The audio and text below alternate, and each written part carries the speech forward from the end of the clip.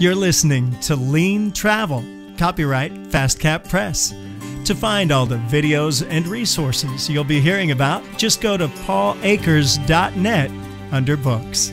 And now, Lean Travel, written and narrated by Paul A. Akers.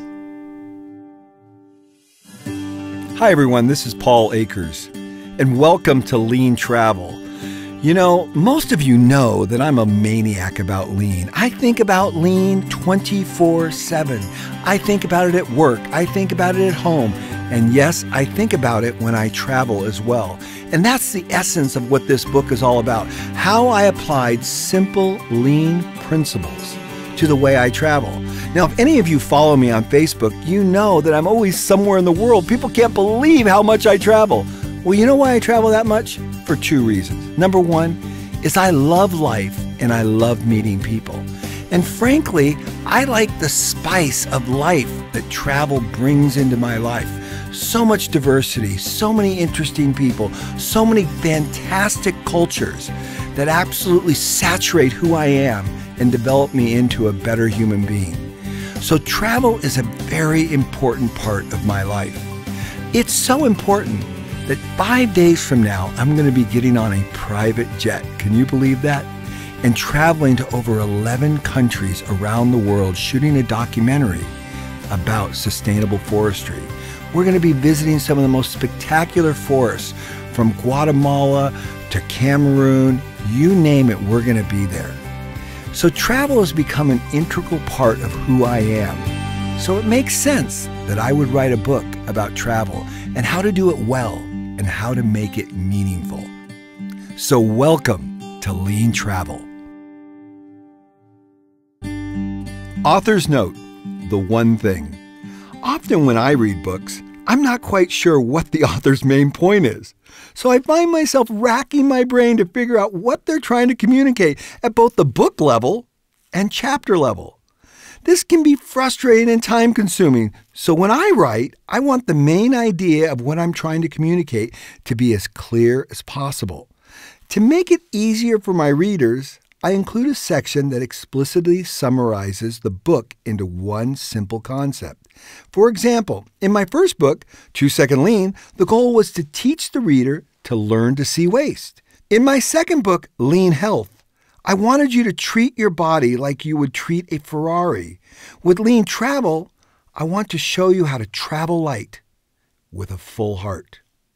In addition to summarizing the entire book with one phrase, I put a simple to the point summary at the end of every chapter called The One Thing. It is a phrase that captures the essence of the chapter. Feel free to skip ahead and read the one thing first before you even read the chapter. Whatever works best for you. The important thing is that you can easily and quickly understand what it is I'm trying to say. Enjoy the read. Preface Travel light with a full heart.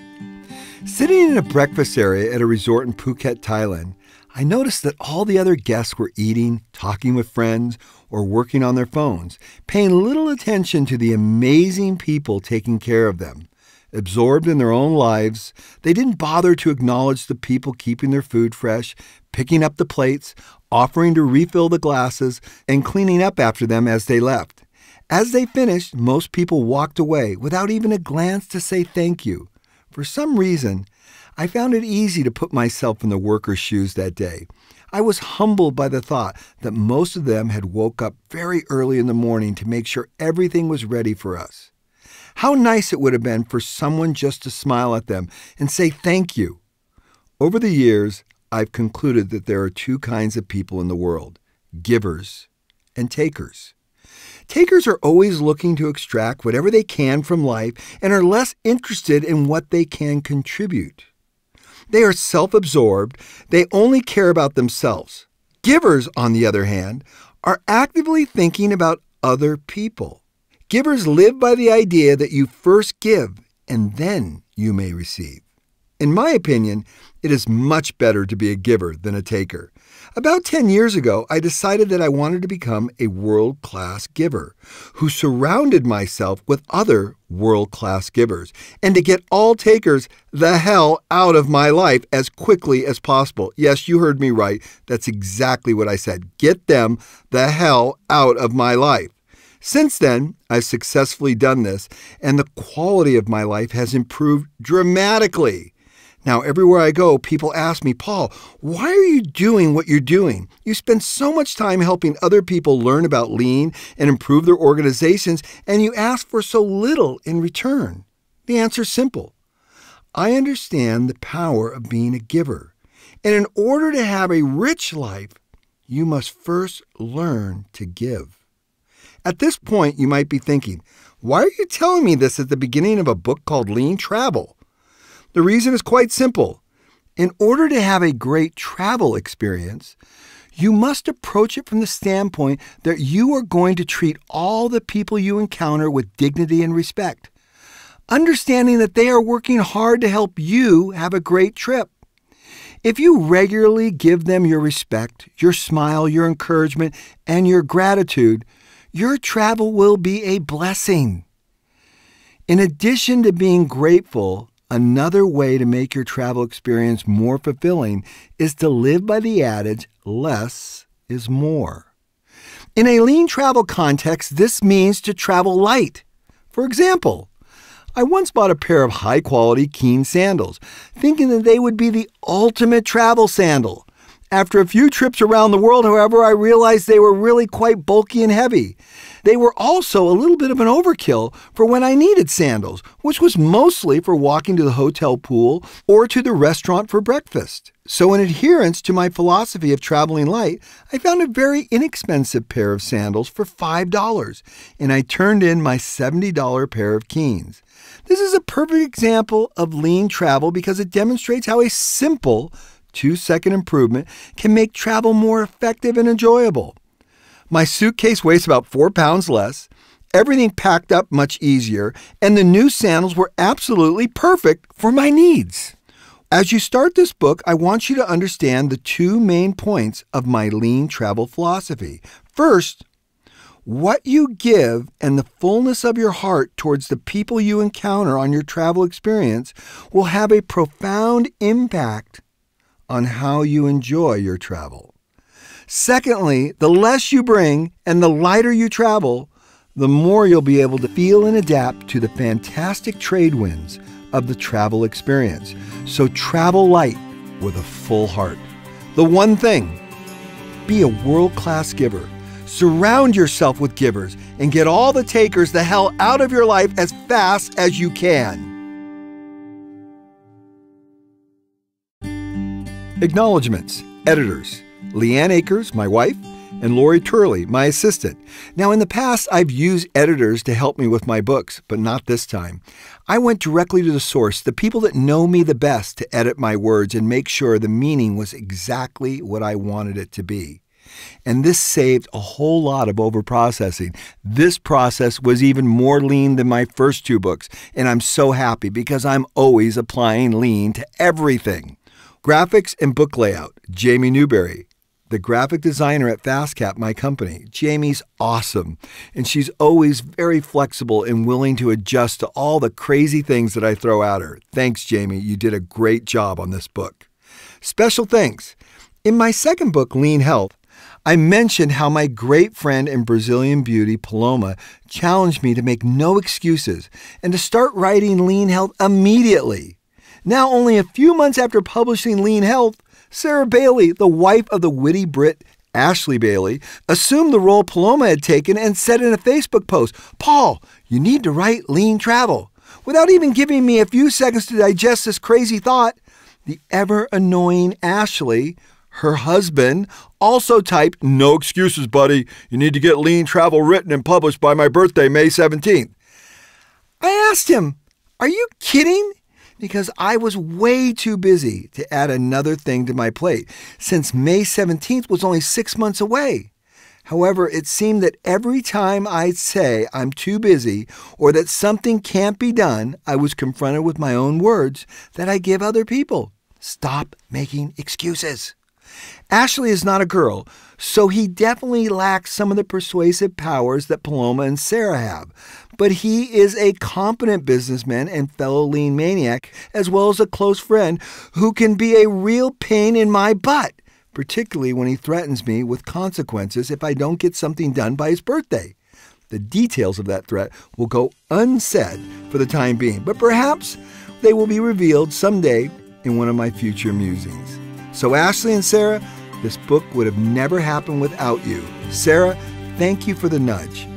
And Ashley, thank you for kicking my ass. I mean, inspiring me. Intro A quick look at lean thinking. In my first book, Two Second Lean, I wrote about how I learned to build a fun, continuously improving lean culture in my company, FastCap. To make lean more accessible to everyone, I simplified the lean principles of continuous improvement. After successfully implementing lean at FastCap, I shared what we had learned with others. Thousands of companies and managers worldwide wanted to learn a simplified way of implementing lean. The simple ideas that I laid out in 2 Second Lean helped them run and manage their organizations at a much higher level. In these companies, tens of thousands of employees are more engaged as they go about their work each day. They do a better job of serving their customers and constantly improving their products, all while reducing costs, increasing profits and wages, and creating greater job security in a team environment where everyone wins. Taking the same lean principles and applying them to my health was the inspiration for my second book. Lean Health tells the story of how I achieved exceptional health by treating my body like a Ferrari. I was an average, overweight, 54 year old man who transformed himself into a high performance machine. After the transformation, I looked like I could be on the cover of Men's Health magazine. By applying daily small improvements over a one year period, I refined and simplified the process of managing my health eliminated the waste in my diet and my exercise regime, and turned my life clock back 20 years. My third book, Lean Travel, is about how I tamed the struggle of travel. In this book, I will show you how I applied lean principles in a new way in order to improve every aspect of the travel experience. One of the main goals of lean is to identify and eliminate waste. Most people tolerate a great deal of waste when they travel. They wait in lines at the ticket counter and at security, which forces them to arrive much earlier than their departure time. They wait to pick up their luggage, which does not always arrive when it's supposed to. They continue to wait more at the rental car counter as the attendant slowly works through the line of customers, clicking through the options on their screens and trying to upsell the drivers on higher fees and unnecessary extra purchases. As a lean thinker, I view these wastes as beautiful opportunities to improve my life. I want perfection when I travel, and though I know it will never be perfect, I will get much closer than most people think is possible. I want my travel experience to be focused on learning and meeting people and not distracted by the clunky mechanics of getting somewhere. I do this because I am passionate about travel. I have been to 60 countries and have the goal of traveling to 100 countries by the age of 65. I am an instrument rated pilot and have flown my own plane across the North Atlantic multiple times. I've landed at hundreds of airports all over the world and have seen sides of travel that most people don't even know exists, from private FBOs, fixed base operators catering to corporate aircraft of the rich and famous, to landing on dirt runways in Africa. Before you dismiss me as some rich guy who can afford the things that most cannot, I recently sold my airplane and now travel only commercially, and 90% is in economy class. I book all my own travel arrangements. I don't have a travel agent or assistant managing my crazy travel schedules. I travel about six months of the year and commonly take trips that last between two weeks and two months. This book charts my journey of continually improving the way I travel. It describes how I think about leaning out the processes of travel and continue to improve it every day, every leg, every hotel check in, and every trip I make. I have worked hard to simplify every aspect of travel and remove the mountains of waste so my travel experience can be pure joy. In order to lean out your travel and simplify everything you do, you must have a deep understanding of the eight wastes. The eight wastes are number one, overproduction. Number two, transportation. Number three, inventory. Number four, defects. Number five, overprocessing. Six, motion. Seven, waiting. And eight, wasted human potential. Here is a quick example of how the eight wastes manifest themselves in the travel experience using a very common travel item soap. Overproduction. When we check into a hotel, our rooms have a little bar of soap in the sink and another one in the shower. During our stay, between washing our hands and bathing ourselves, we might use 10% of the soap the hotel has provided. As a result, the hotel has to purchase much more soap than is actually necessary for its customers. Transportation. Billions of mini soap bars are used all over the world each year, which means that a lot of unnecessary transportation is needed to move it all. The waste of transporting the soap to the hotel and then to the garbage can, the dumpster, and then to the landfill really adds up. Adding to this is the transportation waste of the D9 Caterpillar that runs back and forth bearing mountains of overproduced soap at the landfills, as well as the transportation of the fuel and the maintenance vehicles that service the D9 Caterpillar. Inventory. In addition to the excess soap inventory being held and managed in the landfills around the world, hotels must deal with the abundance of soap in supply rooms. Managing this excess soap inventory is waste. Defects. The soap leaves scum on the sink and on the tiny tray in the shower. The resulting mess is a defect that requires the housekeeping staff to do extra work. Overprocessing. Waste begets more waste, and now we're adding things to the travel process that have nothing to do with why the product process was originally put in place. The purpose of providing soap is so the guests can clean and sanitize their hands and avoid spreading germs not to create mountains of motion and inventory because someone was not thoughtful about the way they set up the process in the first place. Motion. The entire process of managing these little bars of soap produces mountains of waste and motion. From getting the bars of soap from the supply room into the cleaning cart, to moving the cleaning cart to the room, to retrieving the unused bars and throwing them in the trash can, and then emptying the trash can, the list goes on and on. Waiting. I can't tell you the number of times I've checked into a hotel early, around 10 a.m., and have been told my room will not be ready until 1 or 2 o'clock in the afternoon. Why? Because the management has made the housekeeping staff perform silly procedures that have no value for the customers. Example, moving tiny bars of soap around. And because management can't see the waste in what they're asking their team to perform every day. Wasted human potential. This is the greatest waste of all. When you have a human being that's capable of so much more and you make them do mundane, repetitive, stupid work like managing excess soap instead of teaching them to use their brain to continuously improve, the hotel staff members are dealing with soap when they could be dealing with more important work. This is the worst tragedy and the biggest of all the eight wastes, and it happens all over the world millions of times every day. You should care because you're paying for that waste, whether you like it or not. Nobody works for free. Hotels just pass the cost of their stupidity on to you. If by chance you're someone who thinks that's part of the privilege of traveling is to open up a new little bar of soap every day, then there's nothing I can do for you. But let me tell you this waste is not elegant or glamorous. Waste is ignorance. In addition to showing you how I travel, this book will give you the tools and understanding to make lean travel something that is fun and easy for you to do. No matter what your lot in life is, being born into this generation during this time period is the greatest gift that any human being could ever have. Opportunities are endless, and the world is open for business. Countries like Burma, China, Cambodia, Cuba, Kazakhstan, Sri Lanka, places Westerners used to avoid, are today wide open and for the most part welcoming. They have fantastic historical sites and the full spectrum of accommodations and cheap hotels to five star resorts.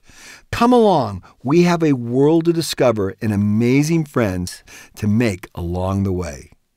By the way, most of the waste involved with those little mini bars of soap could be solved with either of these two easy solutions. First, Hotels could put liquid soap dispensers on the sink and in the shower. The customer would use only what they needed. The dispensers could be designed to clearly indicate when they are running low so the housekeeping staff could refill them only when necessary.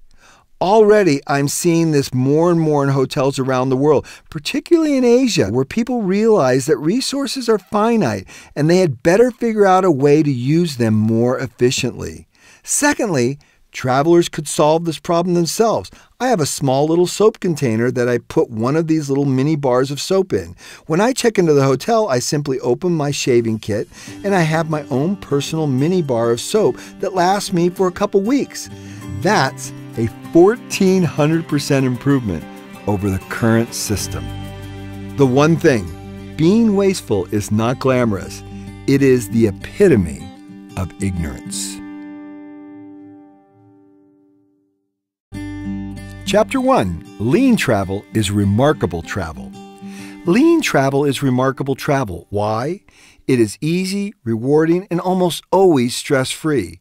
Lean travel helps you create the kind of travel experience that when people look at the way you do things, they say, Wow, that's cool. How do you do that? I tell them it's not complicated. All you have to do is continuously improve everything you do and apply lean principles to the way you travel. As a lean thinker, I have greatly improved my life with one very simple idea, one that even a four year old could understand. Everything in life is a process. Think about it making your bed, brushing your teeth, managing your emails, paying your bills, shopping for groceries, washing your clothes, cutting your grass, traveling are all processes. Each one of these activities has a starting point and a completion point with several steps in between. When doing any of them, you encounter waste that doesn't add value to what you're trying to accomplish. For example, let's say it's laundry day at your home and it's your turn to wash the clothes. As you start a load, you reach down in the cabinet to pick up the detergent bottle. Screw off the cap, set it on the edge of the machine, pour a little in, replace the cap, dribbling a little on the edge of the machine in the process, put the bottle back in the cabinet, close the door. You reach up, adjust the load settings, and finally start the machine. You're not done yet, though. You still must wipe up the spilled soap with a towel and toss it in the laundry to be washed with the next loads. Of all those steps, the only value added one is putting the soap into the machine, which should take a total of three seconds. Everything else is non value added activity. Waste. There is plenty of wasted motion, bending down and up and down, unnecessary transportation of the soap to and from the cabinet, over processing, taking off the cap and replacing it, and the defect, the spill that robs you of 10 seconds of your precious time on earth without getting your clothes any cleaner. What could you do to simplify this process? At my 92 year old mother's home, my solution was to put the laundry soap on a shelf right above the washing machine. The bottle has a little button you push to let the soap come out into the cap and doubles as a small measuring cup. Previously, my mom used this cup for every laundry load. She would pour soap into it, walk over to the machine, dump the soap in, then go back and place the cap next to the detergent. With the soap now above the washer, my mother could remove the cup from the process by opening the washer door, pushing the button, and counting to three. Voila! A process that took her 20 seconds Now takes her three, and she doesn't have to worry about spilling or dropping the measuring cup.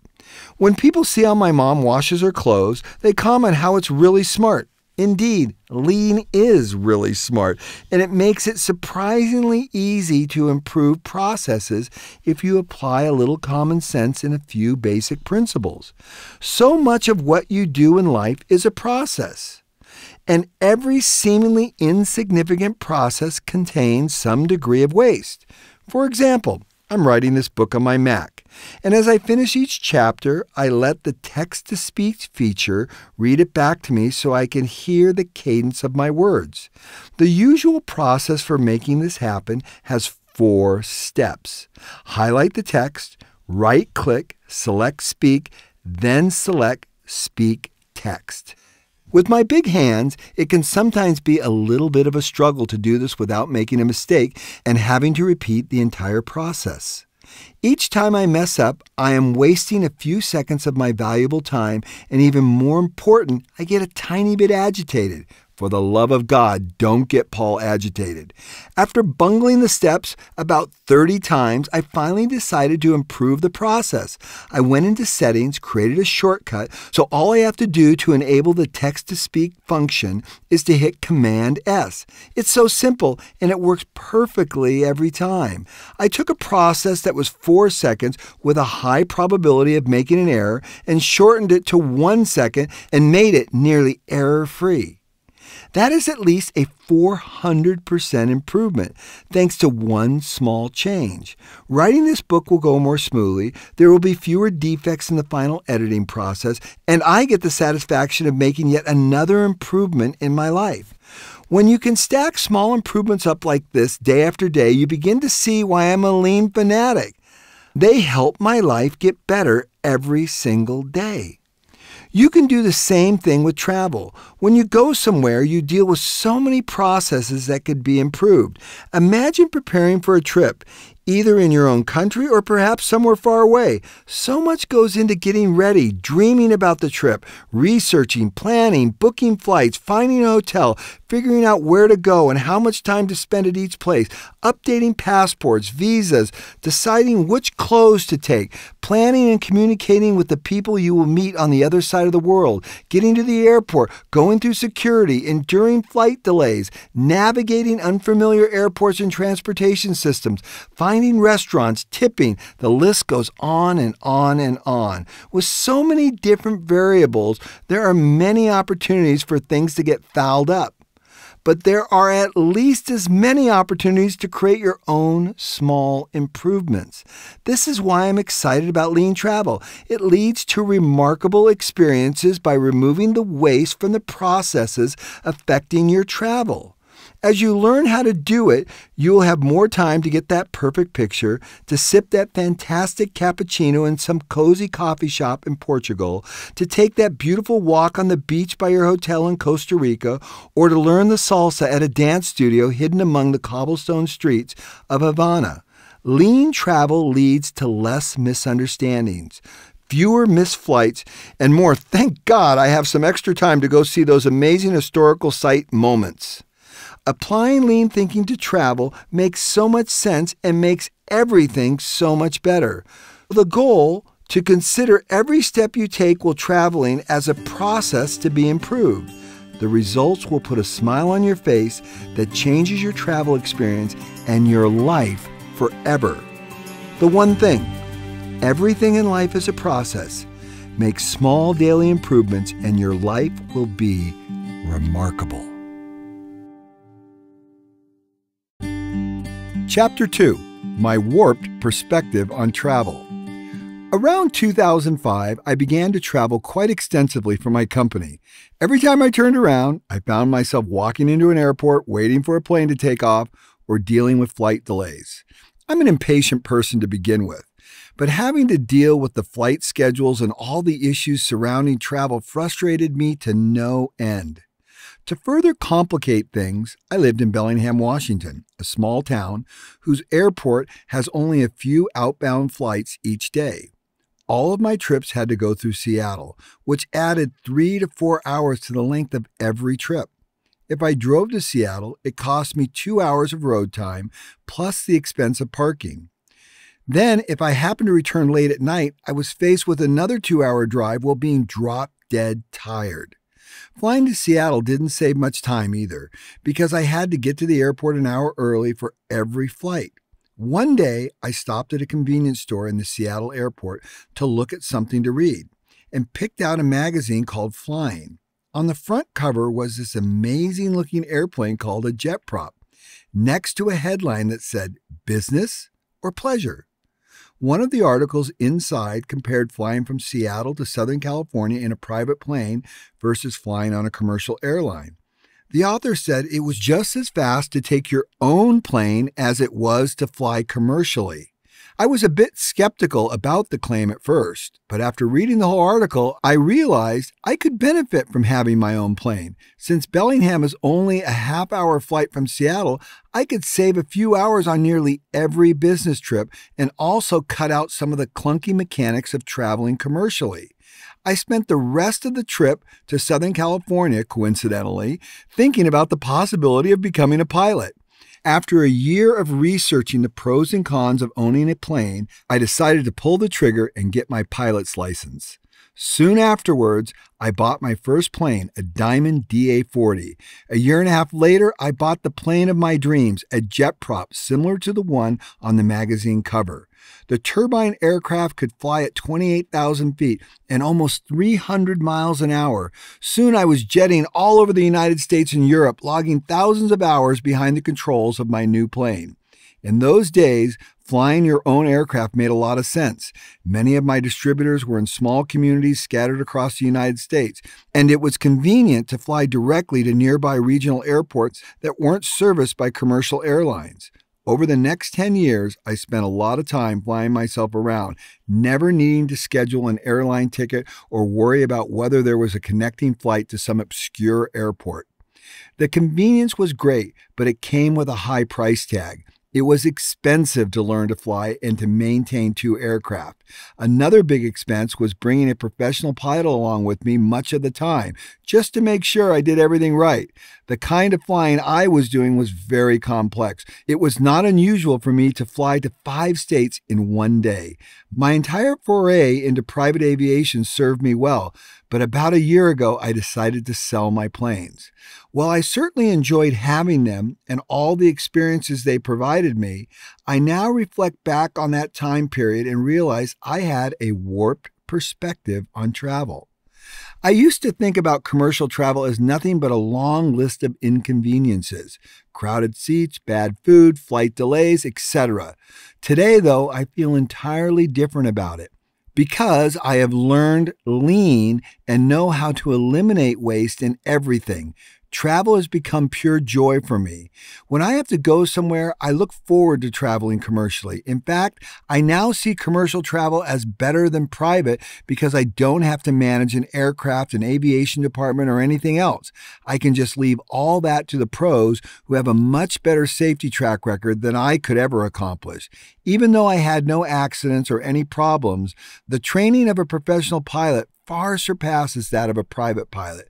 When I go to the airport and have to wait a couple hours for a plane to take off, I'm no longer frustrated. I'm happy to have more time to get things done, like writing, answering emails, or communicating with friends.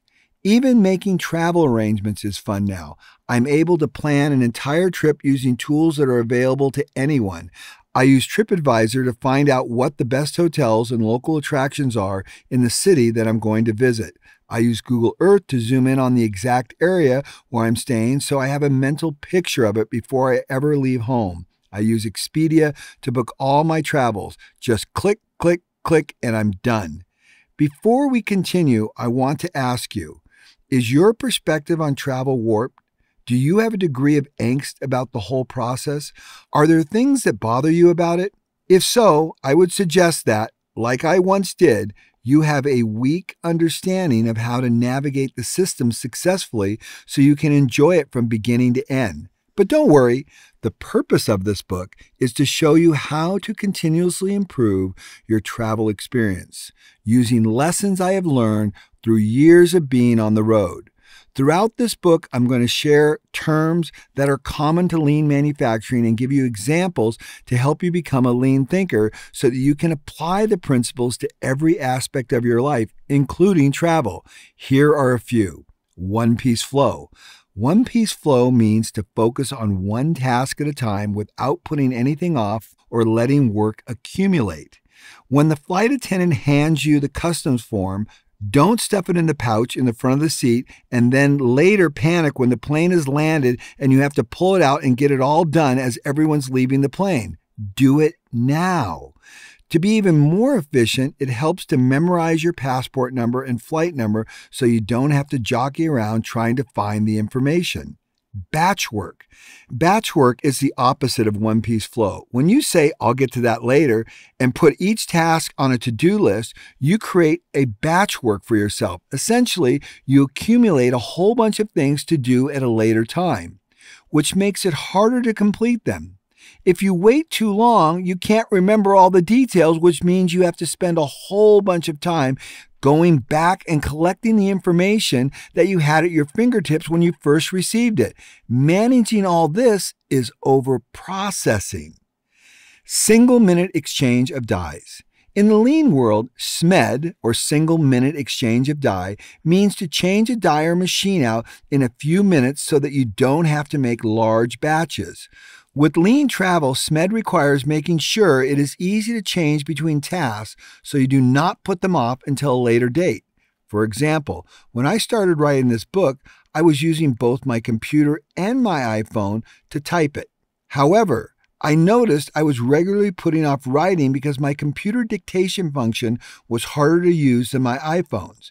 Dictation was easy on my iPhone, but the editing was difficult because the font was very small. I didn't have the best eyesight. I preferred to use the iPhone because it was easy to keep in hand and was also very versatile. I could more easily switch between tasks such as answering emails, banging out a chapter in the book, or booking a flight reservation. The solution turned out to be simple.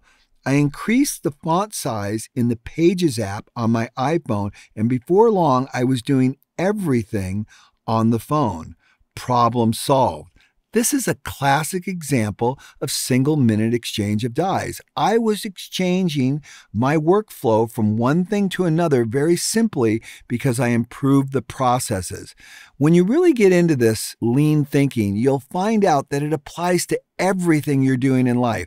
Now, I'm going off script here a little bit, but that is why I'm a lean fanatic, because these principles that typically apply to manufacturing actually have great application to everything you do, and especially the way you travel.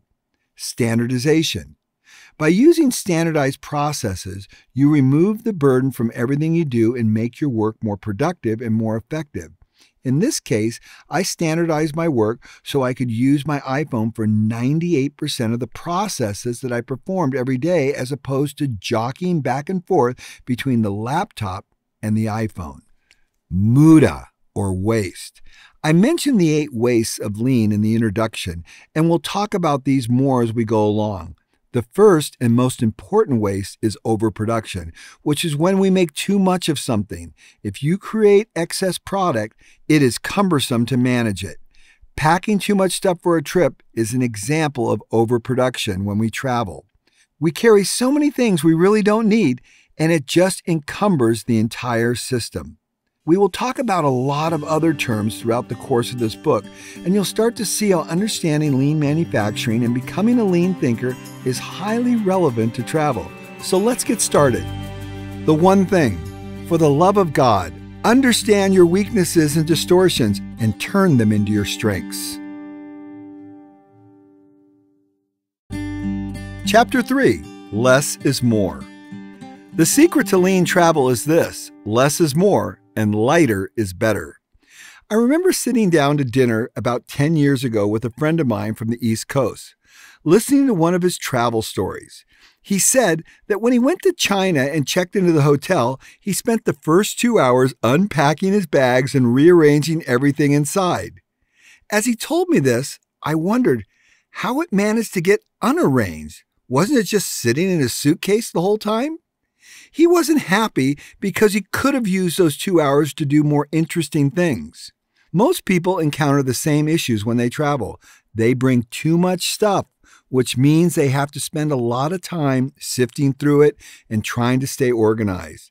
They end up wasting time when they could be out enjoying their destination. A much simpler solution than repacking everything would be to bring less stuff in the first place. Anderson Cooper, the world renowned reporter, inspired me to travel lightly. He was asked in an interview how it was that he was able to travel all over the world so efficiently. He said the key is to travel light. I only take a few things with me, and I seem to be able to manage everywhere I go. Waste is everywhere in the travel experience, just as it is in manufacturing. If we compare the two, carrying too much stuff is like overproduction. It leads to many other problems. In a factory, when you produce too many goods, you have to manage all your excess inventory, moving it around, finding storage spaces, creating complex inventory control systems, etc. And it's all waste. When you travel with too many things, you need a bigger suitcase, which takes extra time to fill you have to check the bag instead of carrying it onto the plane, and then you have to wait at the baggage carousel to pick it up. The excess items lead to overprocessing, motion, waiting, and some wasted human potential, yours. Because now you're sitting there with herds of people waiting to get your bag instead of writing your next book, answering an email, or communicating with friends. Over the years, I've learned a couple tricks that can help you overcome your tendency to bring too many things. First, stop packing as if you're going to have an emergency and start packing like your trip is going to go off without a hitch. If you travel with an optimistic outlook, you won't feel the need to carry every possible remedy for every possible bad situation. Second, don't be afraid to wear the same things more than once during a trip. Most clothes can be worn multiple times without any problem. If you're worried about what people think of you, don't. Most of the time, it's highly unlikely that you'll see the same people over and over again. And even if you do, most people really could care less about what you're wearing. Most people are so preoccupied with how they themselves look, they aren't paying as much attention to you as you think. One of the best lessons I've learned about traveling is how few clothes I actually need. In the past, if I was going to be gone for five days, I would bring five days worth of clothes. For a seven day trip, seven days worth. When I needed to travel for two weeks, it seemed like I was hauling everything but the kitchen sink with me. It was total insanity. I always ended up lugging around a bunch of dirty laundry too, and no one wants to do that. If I'm in a situation and I need a couple of extra shirts because I feel like people are going to start noticing I'm wearing the same thing over and over again, I just purchase a new one. 30 or 40 bucks for a dress shirt. The convenience of lighter luggage is worth the cost, especially since I rarely need to buy new clothes. Now I know a lot of women are reading this chapter right now and saying, That's easy for you to say. You're not a woman. You know what? I've seen many women travel with suitcases as light as mine because they know that carrying loads of stuff around is not worth it. Being free and light is easy and makes traveling much better. The truth is, you don't need more than five days worth of clothes on almost any trip. If you're worried about the people you meet on your business trip being judgmental about your clothes, don't. I regularly deal with some very exclusive high end people, and no one has ever said anything to me yet. Your outerwear, dress shirts, and pants really shouldn't get that dirty. They can easily go two or three, even five days without being washed. I found that the trick is to wear a lightweight nylon shirt underneath the dress shirts, which keeps the dress shirt from getting sweaty or soiled. For me, the magic number to make things lighter is three. I take three pairs of dress socks, three undershirts, and three pairs of underwear. In addition, I take one pair of dress shoes, one pair of running shoes, and a pair of sandals. Three pairs of shoes to deal with nearly any situation that could come up. I also bring five dress shirts and a pair of running socks. One of the best ways to extend the length of your clothes is to wash them yourself. It isn't very complicated. You fill the sink with hot water, add a little shampoo or a travel pack of laundry detergent, scrub the clothes, rinse them out, and hang them over a chair outside on the balcony. Hanging them over a lampshade also works well because the heat from the lampshade dries them out quickly. It only takes a few minutes to wash my undergarments, and I just press and iron the other stuff as needed so I can look absolutely perfect. This one trick alone has allowed me to pack so much lighter than I ever dreamed. If you're not predisposed to doing your own laundry in the sink, have the hotel do it. Or if you want to save some money, take it to a nearby laundry. There are lots of places around the world where you can get your laundry done very cheaply. For example, in Thailand, about $5 you can get a whole week's worth of laundry done. Certain brands of clothes are more suitable for travel than others. One of my favorites is Ex Officio a high quality outdoor brand. Ex Officio clothes are a little expensive, 80 to $100 for a shirt and around $80 for a pair of pants, but they are durable, lightweight, and dry quickly when wet. The company also has invented underwear so good that some guy traveled all the way around the world with two pair of underwear for a whole year. I carry three pair for me. The colder destinations, I have a Patagonian coat that is very lightweight and it looks sharp too. It fits easily in my backpack and keeps me warm in the coldest of climates. When I go outside in Kazakhstan and it's 20 degrees below, the jacket is adequate to get me to and from the car. Even if I go hiking in it, the jacket hood provides good protection from most weather conditions I encounter.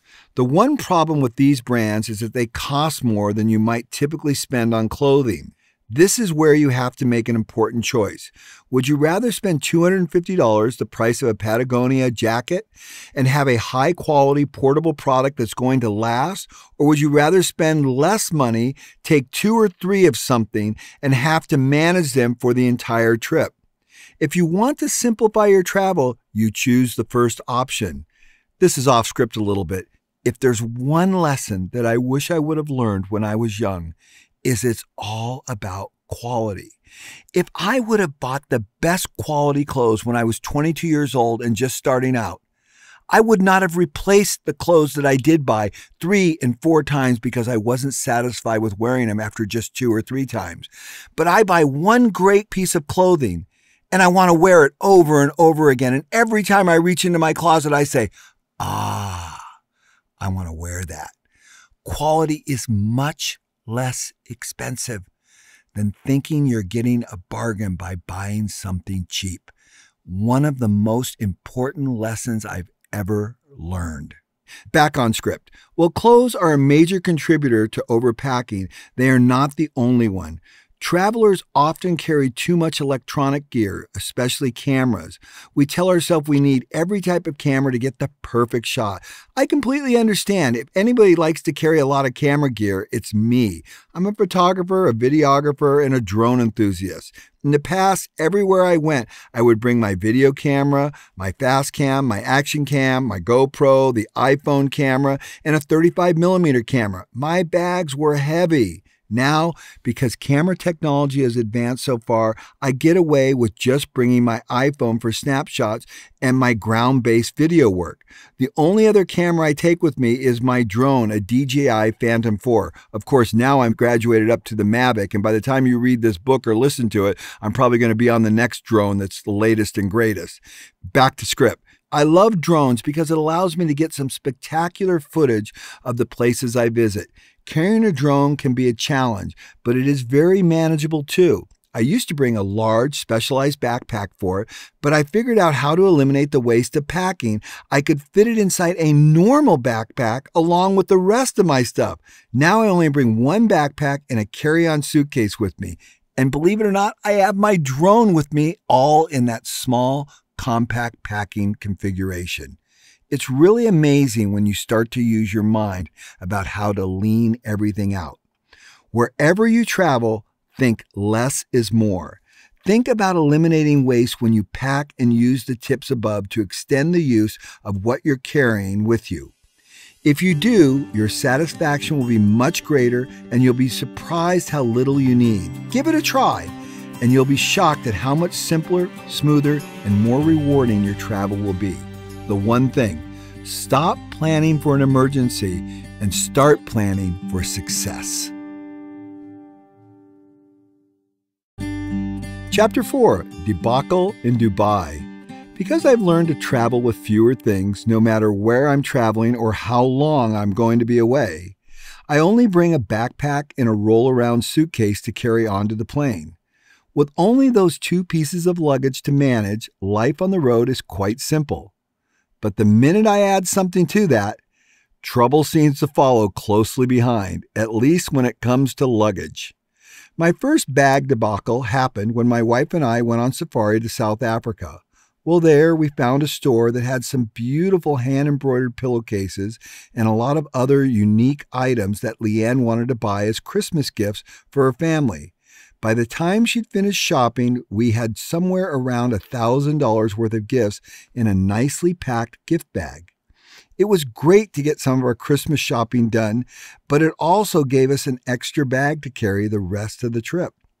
While traveling back to the States, Leanne managed the extra bag from South Africa to Dubai. In Dubai, I offered to carry it around the airport while we waited for our next flight. When it was time to board the plane, I set the bag down and reached into my pocket to get my passport and ticket out. Because I was not used to carrying the third bag, it slipped my mind that I had set it down and I walked to the plane without it. A few minutes later, as I was putting my things in the overhead bin, I realized what I had done. I ran back up the gangway as fast as I could, but by the time I got to the ticket counter, the bag was gone. No one had seen it. I felt terrible. It wasn't just that I'd lost the bag, it was that I had lost the bag that my wife had entrusted to me that was filled with Christmas gifts. Breaking her trust hurt more than losing the actual objects. Unfortunately, I did something similar three years later. I was at the Madrid airport looking for a gift for my friend Estelle, who I was going to visit in Portugal. I saw a store there that sold these fantastic bottles of olive oil. Estelle likes to cook, and the oil would be the perfect gift. I told the man helping me that I would like to buy some, but the security probably would not let it on the plane. He said, It's no problem. We can pack it special and they will let you carry it on. I explained that Estelle would also need to be able to check it on the airplane when she returned home to Belgium. Once again, he reassured me as long as she doesn't open it, they will let you through security and she won't have any problem. With the special packaging, the bottle wouldn't fit into my backpack, so I had to carry them in a separate bag. That almost convinced me to not get the oil, but I really wanted to bring a gift, so I bought it anyways. I should have known better. It didn't take me more than 10 minutes before I lost that olive oil. I went over to the gate, sat down, put it on the floor next to my suitcase, just like in Dubai. When they called for the final boarding, I sprang to my feet, grabbed my luggage, and walked off, leaving the olive oil right next to my chair where I was sitting. This time, I didn't even make it to the plane before I'd realized something was missing. I turned around, ran back up the gangway as fast as I could, but the oil was gone. I couldn't believe it. No more than four or five minutes had transpired and the bag was already gone. I chastened myself. Paul, you've learned your lesson. Three bags is a curse. The two debacles hammered home the idea for me that less is more. When I had only two bags, they were always linked together, and it was very difficult to lose either of them. But the minute there was a third bag involved, the potential to lose something increased exponentially. I've learned that if you're going to buy something when you travel, it should fit into your suitcase or your backpack. Today, my single roll around suitcase plus the backpack that fits over the handle is my travel profile. This makes it much easier to negotiate the airports, airplanes, hotels, and rental cars. It is compact, easy to monitor, and nothing gets left behind. If you remember earlier, I said people often look at me and marvel, Paul, how do you travel with so little and do it so gracefully? The answer is simple. I follow the principle that less is more and stick to it. Another thing that helps me travel more smoothly is the understanding of source management. My good friend Ritsuo Shingo, former president of Toyota China, explains source management this way If you have a mighty river and you want to change its direction, trying to divert it at the mouth of the river where it meets the ocean would be very difficult. At that point, the river is big and wide, and often the current is powerful. If, however, you go up into the mountains to where the river is just a small trickle of water, it is very easy just to move your foot a little to the left or right and change the direction of the entire river. With this source management, you look hard at your problems and go right to the place where they are created. In the example of losing the extra bag, what is truly the source of the problem? At the most fundamental level, it's the notion that possessions make people happy. Travelers tend to buy little tchotchke knickknacks and bring them home because they think people will really enjoy and appreciate them. I'm sure there are some who do, but most people just end up with shelves full of unwanted junk because people push these things on them. Understanding push and pull is important in this context as well. In lean manufacturing, we always want the customer to create demand or pull for a product. This eliminates overproduction, which causes all kinds of other problems. Likewise, when traveling, we never want to push anything on anyone. The minute we push, the waste stream goes crazy. Whether we are pushing these tchotchke gifts on our friends and family, or the airlines are pushing bad food on us when we are flying, so much of this stuff gets wasted. Love pull, hate push. The people you want to buy all these gifts for would be more pleased with regularly hearing from you receiving a thoughtful picture via email or posted on Facebook, or following effective real time journalizing of your trip so they could travel virtually with you and learn from your experiences. In other words, connecting with people is more important than piling things on them. For me, the source of the excess luggage problem is a misunderstanding of what's really important to people. When you reduce your material desires, you free yourself to connect with others on a more personal level. If you make it your top priority to connect and communicate with people and not load them up with junk, you can lessen the management burden of your travel too. Pursuing minimalism and keeping things as simple as possible has become an obsession for me. I can't count how many times I've traveled with people who bought an extra suitcase to haul their purchases home from a long trip. They spend more money on a suitcase they don't need and have to manage that extra suitcase throughout the duration of their trip. It costs more money to get the cheap crap home because they have to pay for an extra suitcase. The person receiving gifts has to take care of the gift and it clutters up their life until they get rid of it. Waste, waste, waste. The power of simplicity extends beyond travel, too. Recently, my assistant Lori and her husband sold their big house, got rid of 80% of their stuff, and moved into a small two bedroom condominium. I asked her how she liked it, and her reply circles around in my mind every day. I love it! Every weekend, Keith and I decide what we're going to do instead of staying home and working on our house, cleaning and doing projects we're actually enjoying life. I may seem cynical about giving gifts, but I have seen what most people actually do with these things.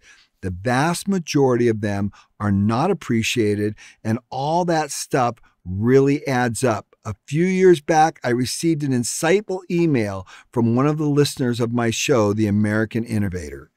Paul, have you ever thought about the real cost of poor quality? We fill stores with low quality products that people buy because they are less expensive. The product gets used three or four times and then they often underperform or flat out fail. Then we relegate this stuff to our closets, garages, and storage lockers. We build bigger homes and more storage that cost more to heat and maintain. Our property taxes go up, the time it takes to clean them out goes up, and the very thing we want, happiness, is sucked up by all the additional managing of all our stuff. Once a year, we clean our house and throw and give away all the stuff we thought would make us happy. The vast majority of the stuff ends up in the landfill that we have to manage with big, heavy equipment and scientific testing to make sure we're not contaminating the environment. If that's not enough, then we have to consider the cost of all the materials and resources that went into making all that stuff in the first place. Then the cost of transporting low quality products to the store, then to our homes, to the Goodwill, and then to the landfill. The entire real cost of all the low quality products versus an expensive product or high quality product is staggering. In most cases, you could purchase a high quality product for a fraction of the cost of a low quality one. What an insightful email. His words helped me see how I confused the accumulating material goods with spiritual satisfaction. Thankfully, I'm learning to think differently. It is much better to give people something that will have lasting meaning. For me, that something has been the stories I tell in my videos to inspire others to explore the world for themselves and the books that I write. The best example I can think of comes from something I did for Estelle. When I visited her in Portugal, after I forgot the olive oil, over four days she took me around and showed me all the sights and sounds of beautiful Lisbon. Unbeknownst to her, the entire time I was discreetly taking short video clips of what we had been doing with my iPhone. In the evenings, I put the clips together to create a video highlighting the wonderful things we experienced together. The last thing I needed was the right music. On the last day of the trip, Estelle came downstairs to my bedroom, knocked on the door, and sat on the edge of my bed with her computer. She asked me if I'd ever heard Ed Sheeran's song Photographs. She clicked on her laptop and played me the video.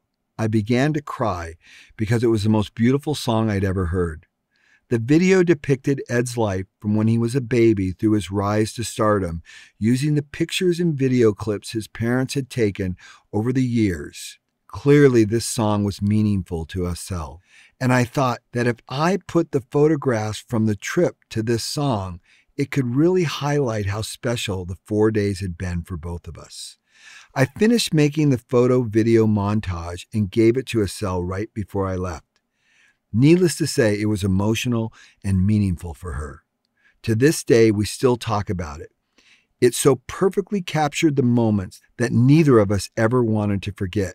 Sure, the olive oil would have been a nice gift, but the four minute music video is something that will help us cherish those memories for the rest of our lives.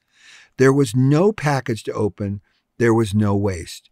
Just a simple click on her phone, and the music began to play. Be thoughtful when you travel and avoid your own baggage debacle by limiting yourself and what you bring with you. Don't let your presence and your ability to emotionally connect with people on a daily basis be masked with materialism. You will simplify not only your life, but your travel as well. The one thing go to the source of the problem, solve problems at the source, and your burdens will be light. Less is more. Chapter 5 just in time travel. Most people believe that to get good flights and hotels at a reasonable price, you have to plan way in advance. I always used to think that too, but in the last year, I've learned it's not always the case.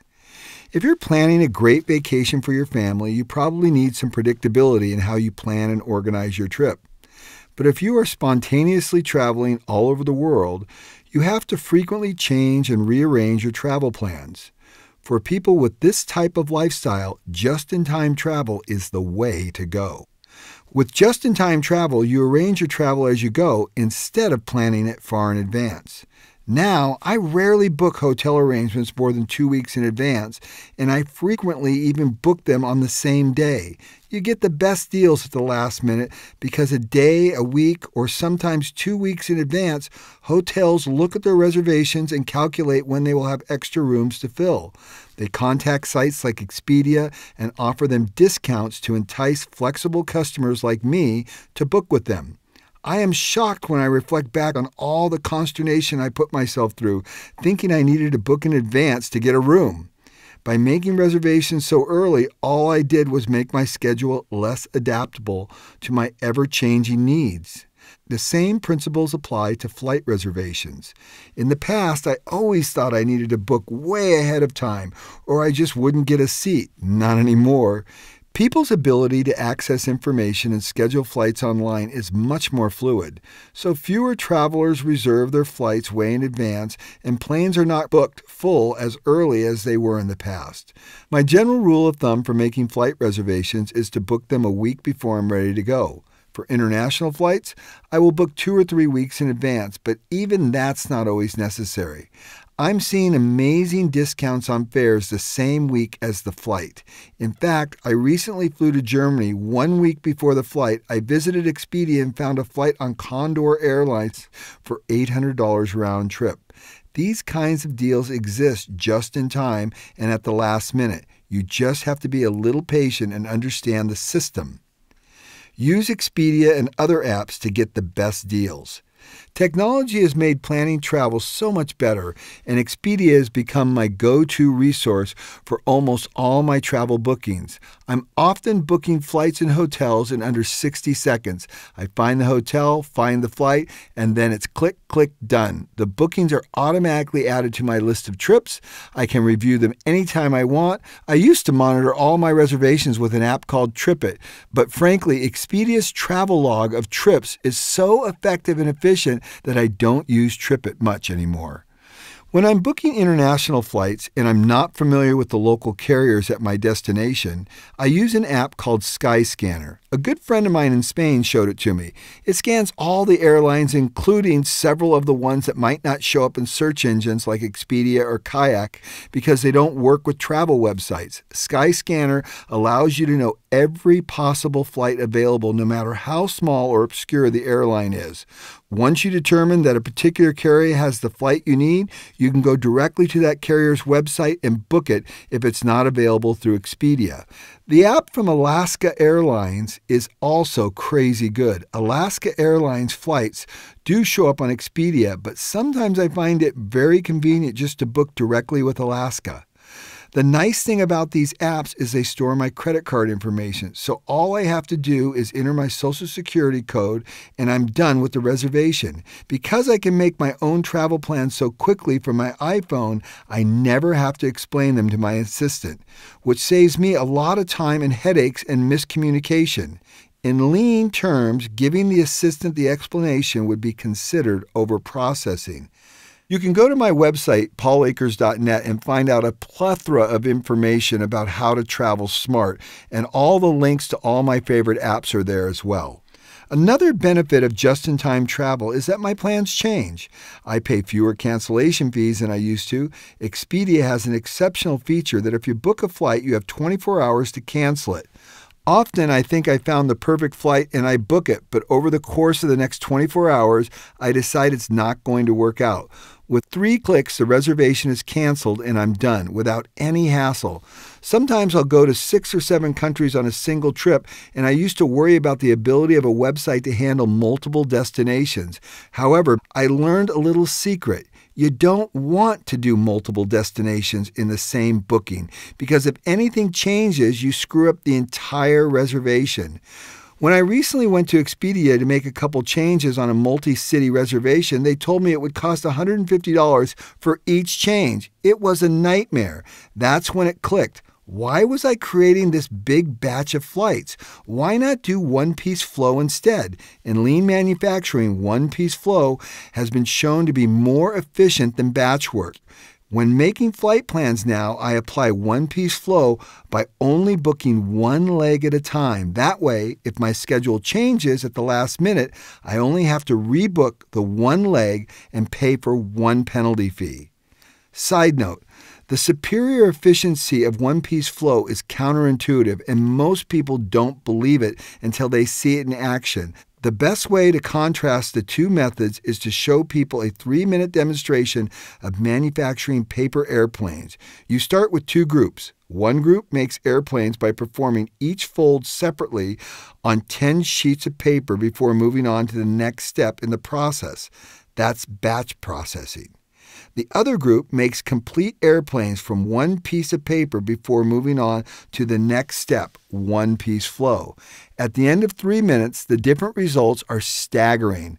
The group using batch processing has maybe one or two planes done, a bunch of work in process, and a bunch of material inventory that they have not touched. The team using one piece flow usually has eight or 10 planes completed, tested, and ready to fly. Batch work is less efficient because you have to manage all the parts repeatedly, stacking them, moving them, and revisiting them. You want to avoid the same thing when booking a reservation or planning your travel. Making them one at a time is the simplest way to do this.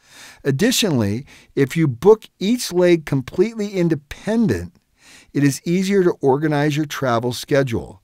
When you look at your trips menu at the Expedia app, you can see all the different destinations. If you need to modify one, you just go to select that city you're flying to and modify only that one. You could argue that it's easier to let the travel companies figure out all the connection times for you, but frankly, it's easy to do by opening multiple tabs in your browser and clicking back and forth to check the connection times. There's nothing hard about figuring out connections, especially if you're not checking bags that have to be shuttled from airline to airline. When you check bags, you add complexity and the potential for defects. As we already discussed, if you travel with multiple carriers, you set yourself up for problems. Sometimes when you make a connection, an airline will check your bags through to another. But most of the time, if you switch carriers, you have to go outside of security, retrieve your bag from the luggage claim, and go back through the screening process. It's better to just carry it onto the plane yourself and avoid that ritual. The point of this book is to teach you about lean travel, which looks to eliminate waste in all the processes through continuous improvement. We must always be looking for ways to improve. The key is to be a little curious. If you ask questions, you'll be shocked at how much you'll learn. Whenever I'm traveling, I'm always talking to the people that I meet and asking them to share their tricks to travel more efficiently. Loey, a friend of mine who lives in China, told me about an app the Chinese use called Ctrip. It is similar to Expedia, and I use it all the time when traveling in Asia because I can get better deals and more options than Expedia offers in those countries. One of my favorite examples of just in time travel is getting upgraded to business class. You can buy an upgrade at the list price when you book your flight, or you can wait until you get to the gate or even board the plane and ask if upgrades are available. When you wait, you'll pay a fraction of the cost.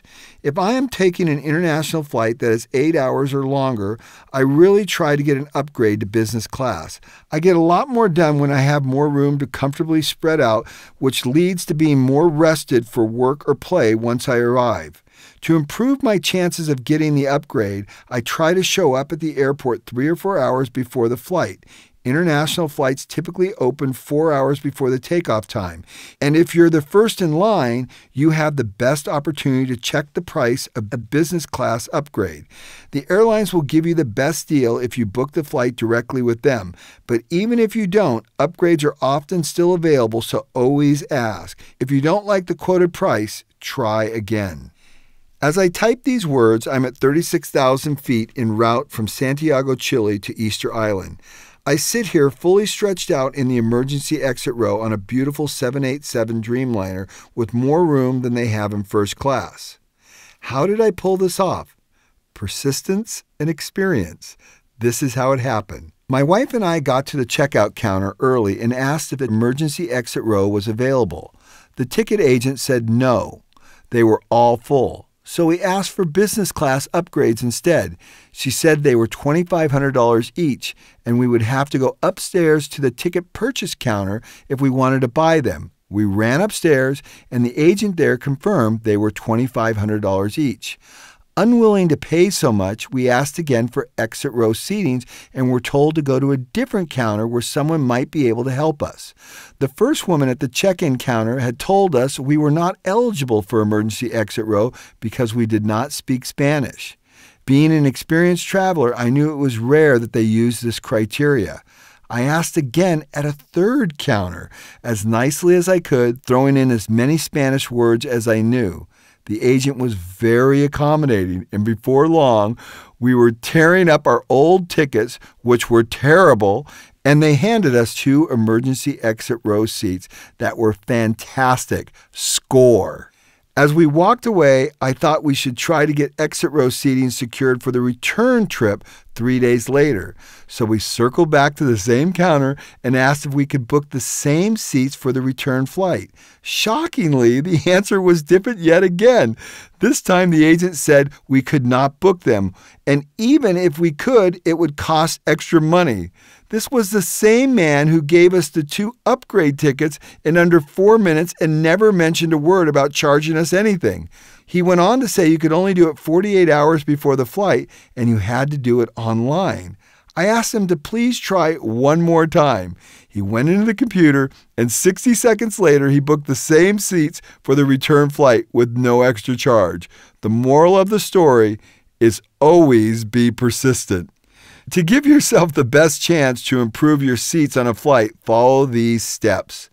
Ask for the emergency exit row because those seats disappear quickly. If one is available, you want the agent to immediately secure it for you in the system. Do not distract the agent with any other activity other than reserving your exit row seat. I have seen those seats disappear right in front of me because the agent was busy with something else. 2. If you cannot get an exit row seat, ask for the availability of a business class upgrade. If the price is reasonable, my threshold is $800, make a decision before moving to step three. If you strike out at the initial check in counter, proceed to the gate and ask the same question again. You would be surprised how many times you will get a totally different answer. 4. If the answer you receive at the gate is not favorable, make sure you're the last one on the plane and ask the flight attendant as you board. Many times I've been quoted $2,000 at the check in counter and then paid $500 for business class upgrades on the plane. 5. If you strike out a third time, never fear. As you board the plane, peruse the available seats on the plane and see if you can find a seat with an open seat next to it, or better yet, an exit row seat that has not been taken. You will not believe the number of times I've scored on major seats that are way more comfortable than was originally assigned to me just by being the last one on the plane. Only once in the last three years did one of these strategies not work for me. Persistence pays when it comes to booking hotels too. One of my favorite places in the world is Phuket, Thailand. I can go on and on about Phuket the beautiful beaches, the warm water, the great food, the reasonable prices, the friendly people. Every time I go there, I try to find a place that is more affordable with a location that is more desirable. The last time I went, I was practicing just in time travel, so I only booked a hotel for one night of the 10 day visit. When I looked online, it seemed like a nice place, but not the kind of place I wanted to spend a week and a half. My first night stay confirmed that. The next morning, I woke up, rented a scooter for about five bucks, and drove around to 10 different hotels that, according to Expedia and TripAdvisor, had offered great values because I was doing just in time travel. After looking at nine of them, I was a little discouraged. Phuket was very busy this time of year, so there wasn't much available. Was my just in time system going to fail me? No. Just because most people were booked up didn't mean everyone was booked. Besides, the hotel where I was staying had rooms available if there were no other option.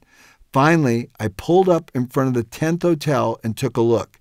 It was spectacular with huge suite rooms, beautiful furnishings, elegant bathrooms, and five pools, and heavily discounted at only 60 bucks a night compared to the normal rate of 150 to 180 dollars per night. To top it off, nobody was there. Just in time travel plus a little persistence paid off for me big time. Nestled neatly within the concept of just in time travel is the concept of the orientation day. When I'm traveling to a new location and I know I'm going to be there for three to five days, I often don't book anything until I take some time to become oriented with my surroundings. I call this the orientation day. Similar to how I checked out several hotels in Phuket, I used the first day of the trip to discover the ins and outs of a new destination. For example, we flew to Easter Island. I talked to the flight attendant, Catalina, and she told me all kinds of great things to do and see. She had been to Easter Island five times and had collected lots of local knowledge. Catalina's insights weren't my first exposure to Easter Island. A week earlier, I had begun watching YouTube videos online to understand what the island was all about. She even invited our group to a barbecue that the flight team was having at one of the best beaches on the island. Talk about having the inside track. Shortly after landing, we rented quads so we could track all over the island and get the lay of the land. Traversing the island, talking to the locals about the best things to do. I ended up with lots of great ideas. Another trick for getting orientated is to not be too quick to commit to a certain hotel or restaurant. Take a look around before you set in stone what you're going to do. In the past, when choosing a restaurant, we would stop in at a restaurant that looked good with mixed results. Now we do something called restaurant hopping. We choose a restaurant, order one or two hors d'oeuvres or a main course and a glass of wine, then move to the next restaurant. During the whole evening, you can visit two or three restaurants easily and really get orientated as to what the local food is all about. I learned this concept from my friends Cindy and Gordon when we were in Dubai. We went to four restaurants in one night. We had a ball tasting all the different foods. At each stop, we ordered a few small dishes to sample instead of a full meal. At one point, we even had a restaurant bringing food to us at another restaurant. We were laughing so hard and having such a great time. Everyone thought we were a little crazy, but we enjoyed how much fun we were having. We basically experienced four days of eating in one night, so we knew what was good when we went out to eat the next day. On Easter Island, my wife and I did the same thing. We ordered ceviche at multiple restaurants to find out who had the best food in town. Surprisingly, the restaurateurs loved the concept and supported it completely. We were very upfront and honest with them about what we were doing. It actually made them want to perform at a higher level because they knew we were comparing them to everyone else on the same night. Go for it. When we returned from Easter Island to Santiago, our plane was once again a beautiful 787 Dreamliner. I was the last one to get on the plane, and as I passed by the cockpit, I asked if I could go into the front office that's called the cockpit, and take a look. Before long, the pilots waved me forward, and I was shooting a video and taking pictures in the front of a 787 Dreamliner. I repeated the same experience when I was on the Emirates flight Airbus 380 en route from New York to Dubai. People always shake their heads at me and say, Paul, how do you do that? How do you have these amazing experiences? It's simple. If you're willing to do these five things, continuously improve, be intensely curious, experiment without fear, ask if something is possible, and do not be afraid to look a little foolish. When it is your turn to travel, don't stress if you do not have all your arrangements made weeks in advance. Relax and think about how you can incorporate these five strategies into your preparation. There are always deals out there, so you don't really need to worry about booking everything way in advance anymore. In addition, you often get a much better price at the last minute than if you book something two or three months in advance. The tools are there for you to rent a car, reserve a flight, choose a hotel, and find the best restaurants or anything else you want to do in just a few minutes' time.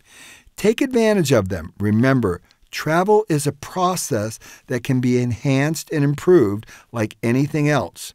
I'm constantly tweaking and perfecting the travel process to make my travel more effective and enjoyable. I do it in a very deliberate fashion.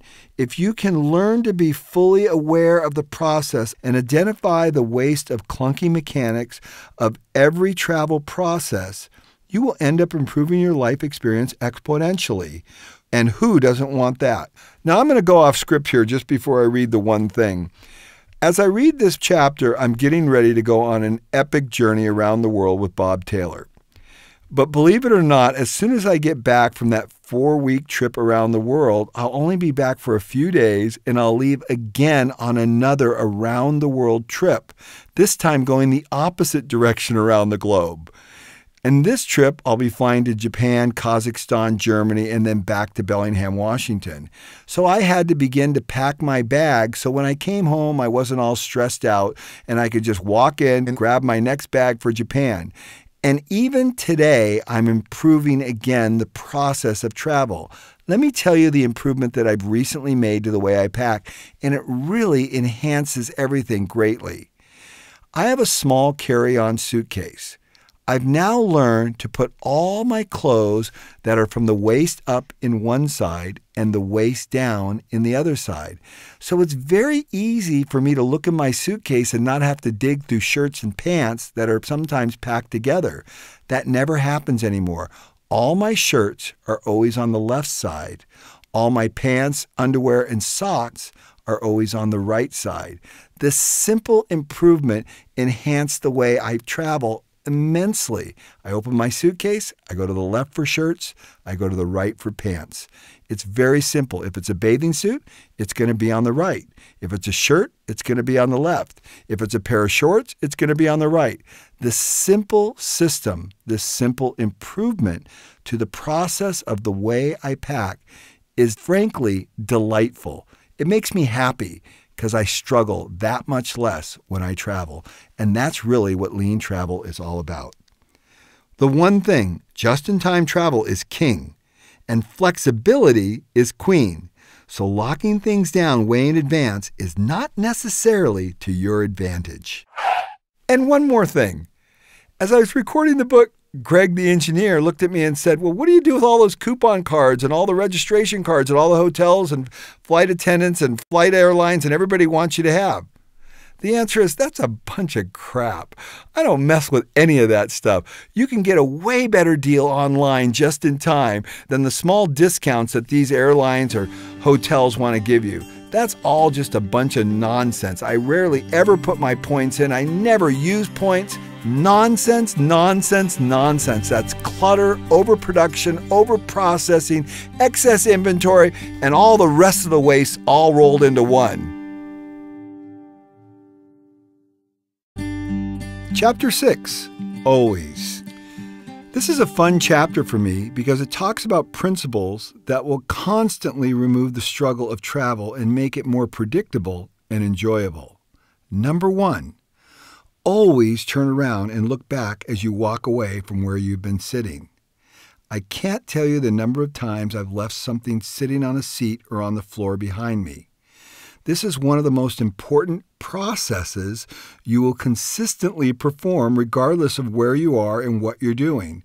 Always turn around and glance at the place you just walked away from to make sure you didn't leave your wallet on the counter, your water bottle in the chair, or your Bose earbuds didn't fall on the floor. This is my top lean travel principle. Number two, always carry things in the same place. Remember the phrase, a place for everything and everything in its place? Make sure you always put your headsets, your glasses, your electronics, your passport, or anything else you're using in the same assigned pocket. This will eliminate enormous amounts of wasted time searching for your stuff and you will lose fewer things because you know to always scan their specific places to make sure you have them. It will take you less time to unpack in the hotel room and less time to repack when you leave.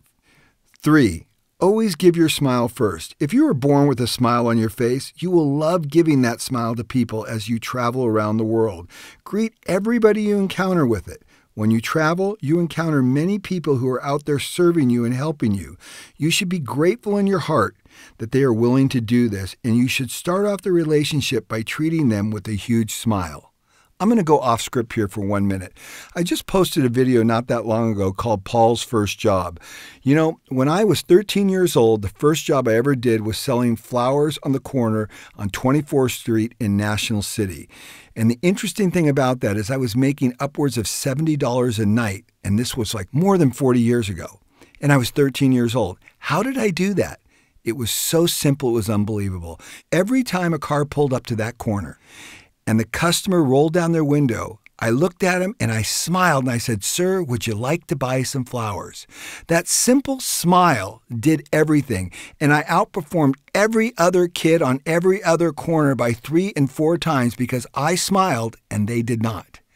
It is such a simple principle. Give your smile, it is so powerful. Four, always hand your passport to the customs official right side up with your ticket inside.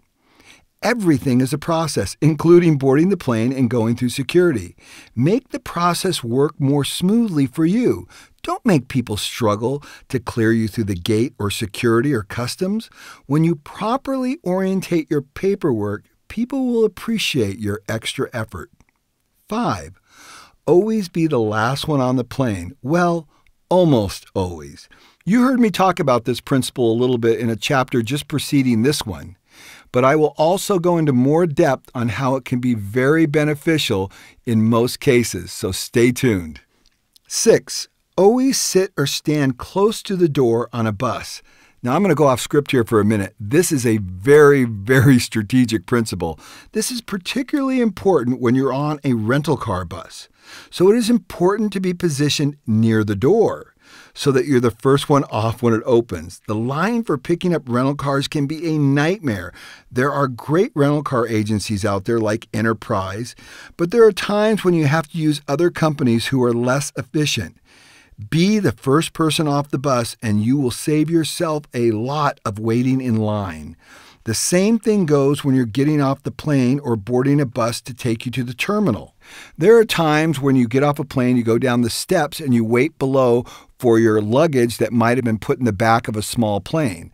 Well, I see time and time again people rush to get off the plane, and then everybody stand there in cold, wet, rain while they're waiting to get the bags off the plane. And I'm going, what are you people thinking?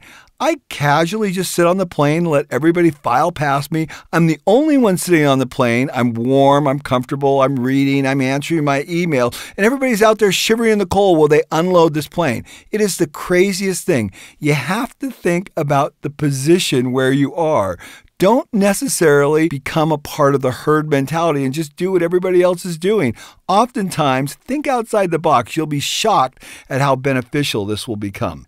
One more example is a lot of times you have to get off a plane and then get onto a bus, which then takes you to the terminal. And again, I see the same thing.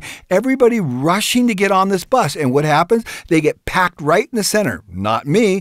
I always wait to the very last minute. And you know what? Who's the last one to get on the bus? Paul. Who's the first one to get off the bus? Paul. Who's the first one to get through security? Paul. Who's the first one to get the rental car? Paul. So you can see, being a little thoughtful about the processes of getting on and off the bus can be very beneficial. 7.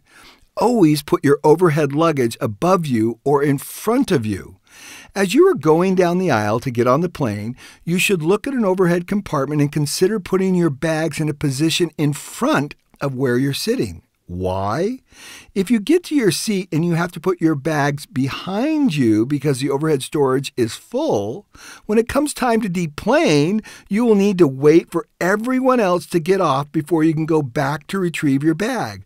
I have put my bag in the overhead compartment in first class when I can see that the rest of the plane storage is looking full. Now, you may say to me, Paul, you just told me in the last one it wasn't important to get off the plane first. Well, if you check your bags, that's the case. It doesn't matter. But if you keep your bags with you and you're deplaning into a terminal, that means the sooner you get off the plane, the sooner you can get to the rental car, and so forth and so on. So sometimes it's very important to be the first one off the plane or as soon as possible. Other times, it doesn't matter, and it will be very strategic for you to get off at the appropriate time. The most important thing is be thoughtful about every process. 8. Always look to help others with their overhead bags. If everyone would just help the people around them get their bags down from the overhead storage, particularly people who are smaller and don't have the strength to easily lift them up and down, the time it would take to deplane the aircraft would be cut in half. If you ever want to observe waste, the waste of waiting, just watch how inefficiently people deplane an aircraft. I'm going to go off script here. This is like my biggest pet peeve in the whole world. From a lean thinker standpoint, to watch people get off a plane and get their luggage down is the most clumsy thing you've ever seen in your life. If I was running the airlines, I would solve the whole problem in short order. I would create a funny little video showing how if people just helped each other around them, that they could deplane in half the time and the cost of the airline tickets would actually go down because the expensive planes would not be sitting on the tarmacs empty so long. You could create this video, play it just before everyone landed, and everyone would be educated on helping one another and being friendly to one another so you could get off that dumb plane a little faster instead of waiting for 10 minutes, sometimes 15 minutes, to get your turn to get off that plane. Nine, always tell the flight attendant what great service they have provided. How would you like to be stuck in an aluminum tube for 30% of your life? These people work hard to make your flight enjoyable, and you should go out of your way to always have an attitude of gratitude, particularly when you're exiting the plane. I'm going to go off script. That's when I do it. I get to the very end of the aisle. The flight attendants are there, generally smiling and saying, Thank you very much. And I say to them, Great service. I really appreciate it. And nine times out of 10, they look at me with almost shocked. They go, Wow, thank you so much. 10. Always tell the pilot what a great landing they made. I'm a pilot, and as a pilot, I can't tell you one of the greatest feelings in the world is when your passengers tell you, Wow, that was a nice landing. In the aviation world, they say any landing you walk away from is a good landing. So, technically, if you're alive and well, regardless of how rough the landing seems, the pilot did a great job. Let them know. I'm going to go off script again here.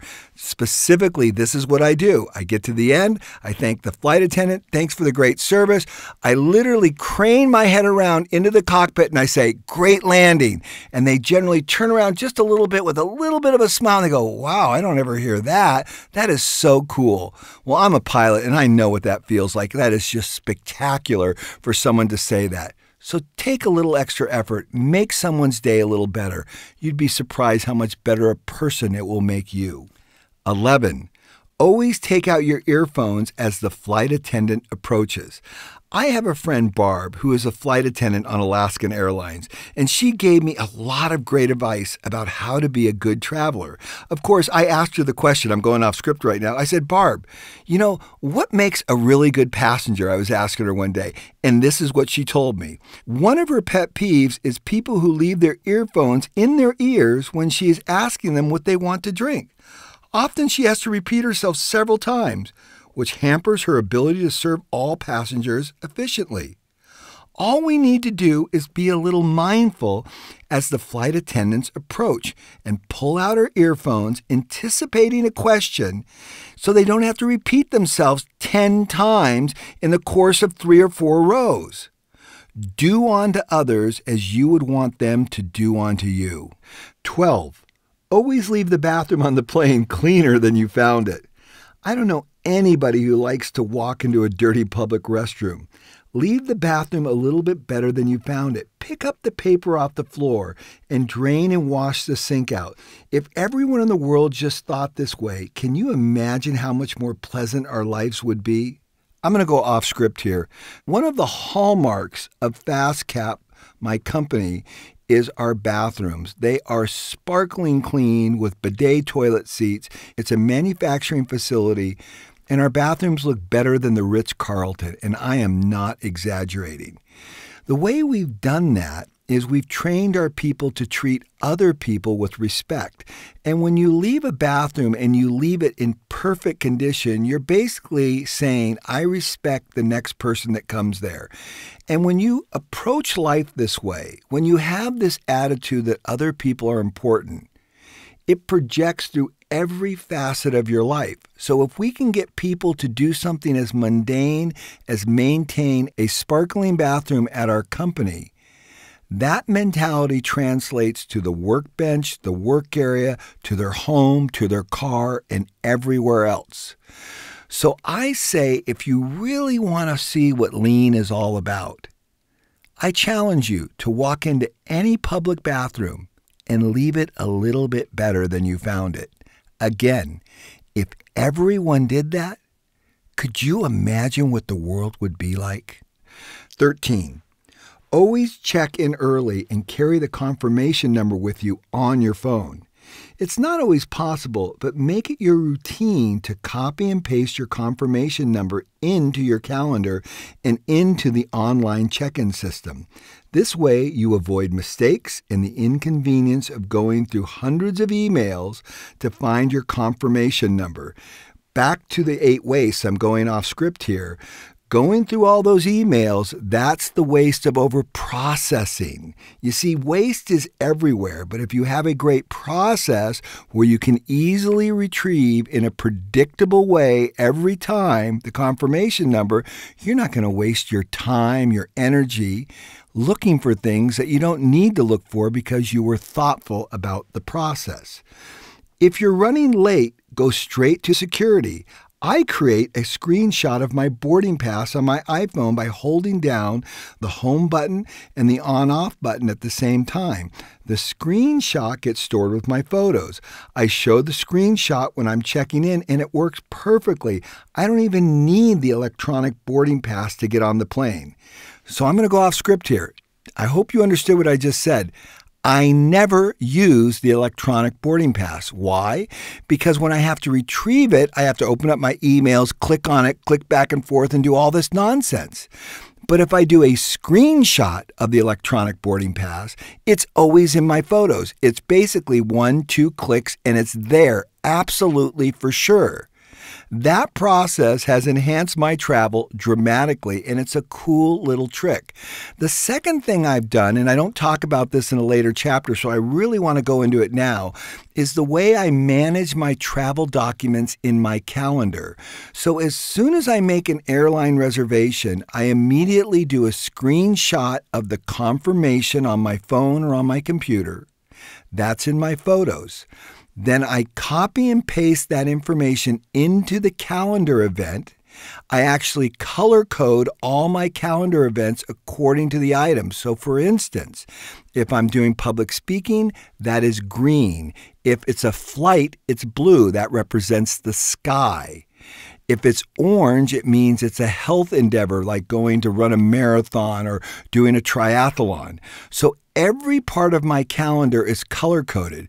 But the important thing is the moment or just in time, the moment I make that reservation, I take all those details and through a very careful and thoughtful process, I apply them to my calendar along with the confirmation number so I never, ever, ever search for that thing.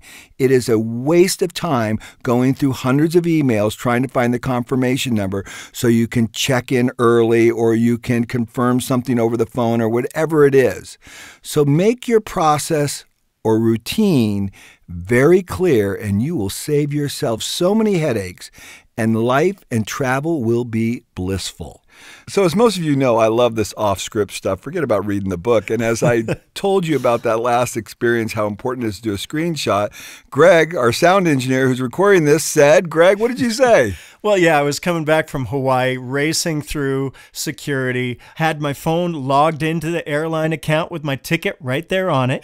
And then my account timed out just as I'm handing it to the security guy. I tried to pull it back up. It wanted me to log back in. Just a huge mess. And then he says, uh, We don't have time for this. Go get a paper ticket. Had to go back to the counter, get a paper ticket, come back, wait in line again. I could have saved all that time by just doing the screenshot, like you said, which, of course, on my next trip, I did that. I know. You know, the funny thing about all this lean thinking, sure, it's going to save you the time, and the time is very valuable to you mm-hmm. and me. Mm-hmm. There's no question about that. But what lean thinking really does for me, Greg, is it makes my life more enjoyable. Absolutely. I don't struggle. And because I don't struggle, I'm emotionally more fit to do a better job in my life, if you will. Yeah. But when you're struggling and everything's just a little bit of a hassle, you get an attitude. And I'm not into having an attitude. I like to be happy, man. And good processes make me happy. Absolutely. And make sure your battery on your phone is juiced up enough that you can show them a photo when you get to the line. Exactly. I think we're on number 14. 14. Always bring your own thermos. I always travel with my stainless steel Starbucks coffee mug. It's super convenient.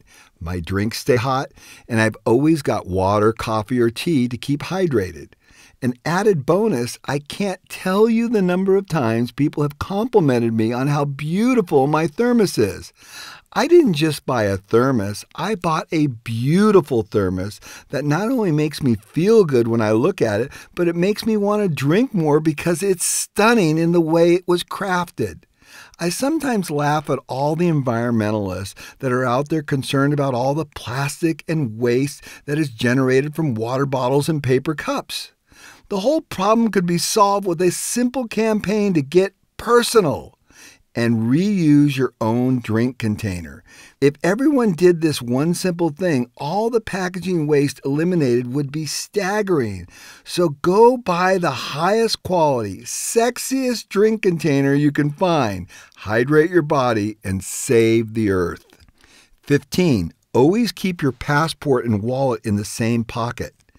Throughout this book, I have used the word routine in place of discipline. This is deliberate. I learned this concept from What Makes Olga Run, a book about Olga Kotelko, a 90 year old Canadian woman who is in excellent condition and still participates in track and field at a very high level. Kotelko's routines, not her discipline, have kept her in such great shape. As the author Bruce Garrison so keenly observed, Routines remove the vagary of discipline. Don't say to yourself, you need to remember to put your passport and wallet in the same pocket all the time. Rather, make it your routine. That way, you are never saddled with the inconvenience of misplacing or losing those important items. And you can always retrieve them fast and easy. Never rely on discipline to maintain exceptional habits. It is better to develop strong routines. 16. Always carry a pen with you for filling out the customs forms. I spent a good part of my life stressing out when the custom forms were handed out because I didn't have something to write with. Now I always keep a cheap, lightweight pen in my backpack for filling them out. I can't believe how much this simple thing has streamlined the travel process for me. In addition, I memorized my passport number four six oh four, no i'm not going to tell you. Oh, no, i won't say it online here. I memorized my passport number which makes filling out those forms that much easier. Another trick with customs forms is to know the name of the hotel where you're staying information that is often requested on the forms. If you don't remember, don't stress out. Customs officials rarely care what the name of the hotel is. I usually just call it something like where the area is that I'm staying. For example, if I'm going to Baja, I write down the Baja Hotel. If I'm in Astana, Kazakhstan, I write down the Hilton in Astana. Customs officials have not questioned me about this even once. Don't let me get started about the waste that these documents have created in the world. I'm sure somewhere there must be a room filled with billions of these little white forms from countries all over the world. You would think at some point they would have digitized them. We are living in the 21st century, aren't we? 17. Always fill out the customs forms as soon as you get it on the plane. Remember, one of the main tenets of lean is to not create batch work, piles, or to do lists. Great lean processes allow you to do everything just in time as the demand is received. Don't wait on anything. Take care of it right away at that moment. If you fill out the customs forms right away, you can peacefully rest for the duration of the flight. Procrastination is the friend of failure and chaos, and a whole host of other things that will reduce the quality of your life. Avoid it at all cost.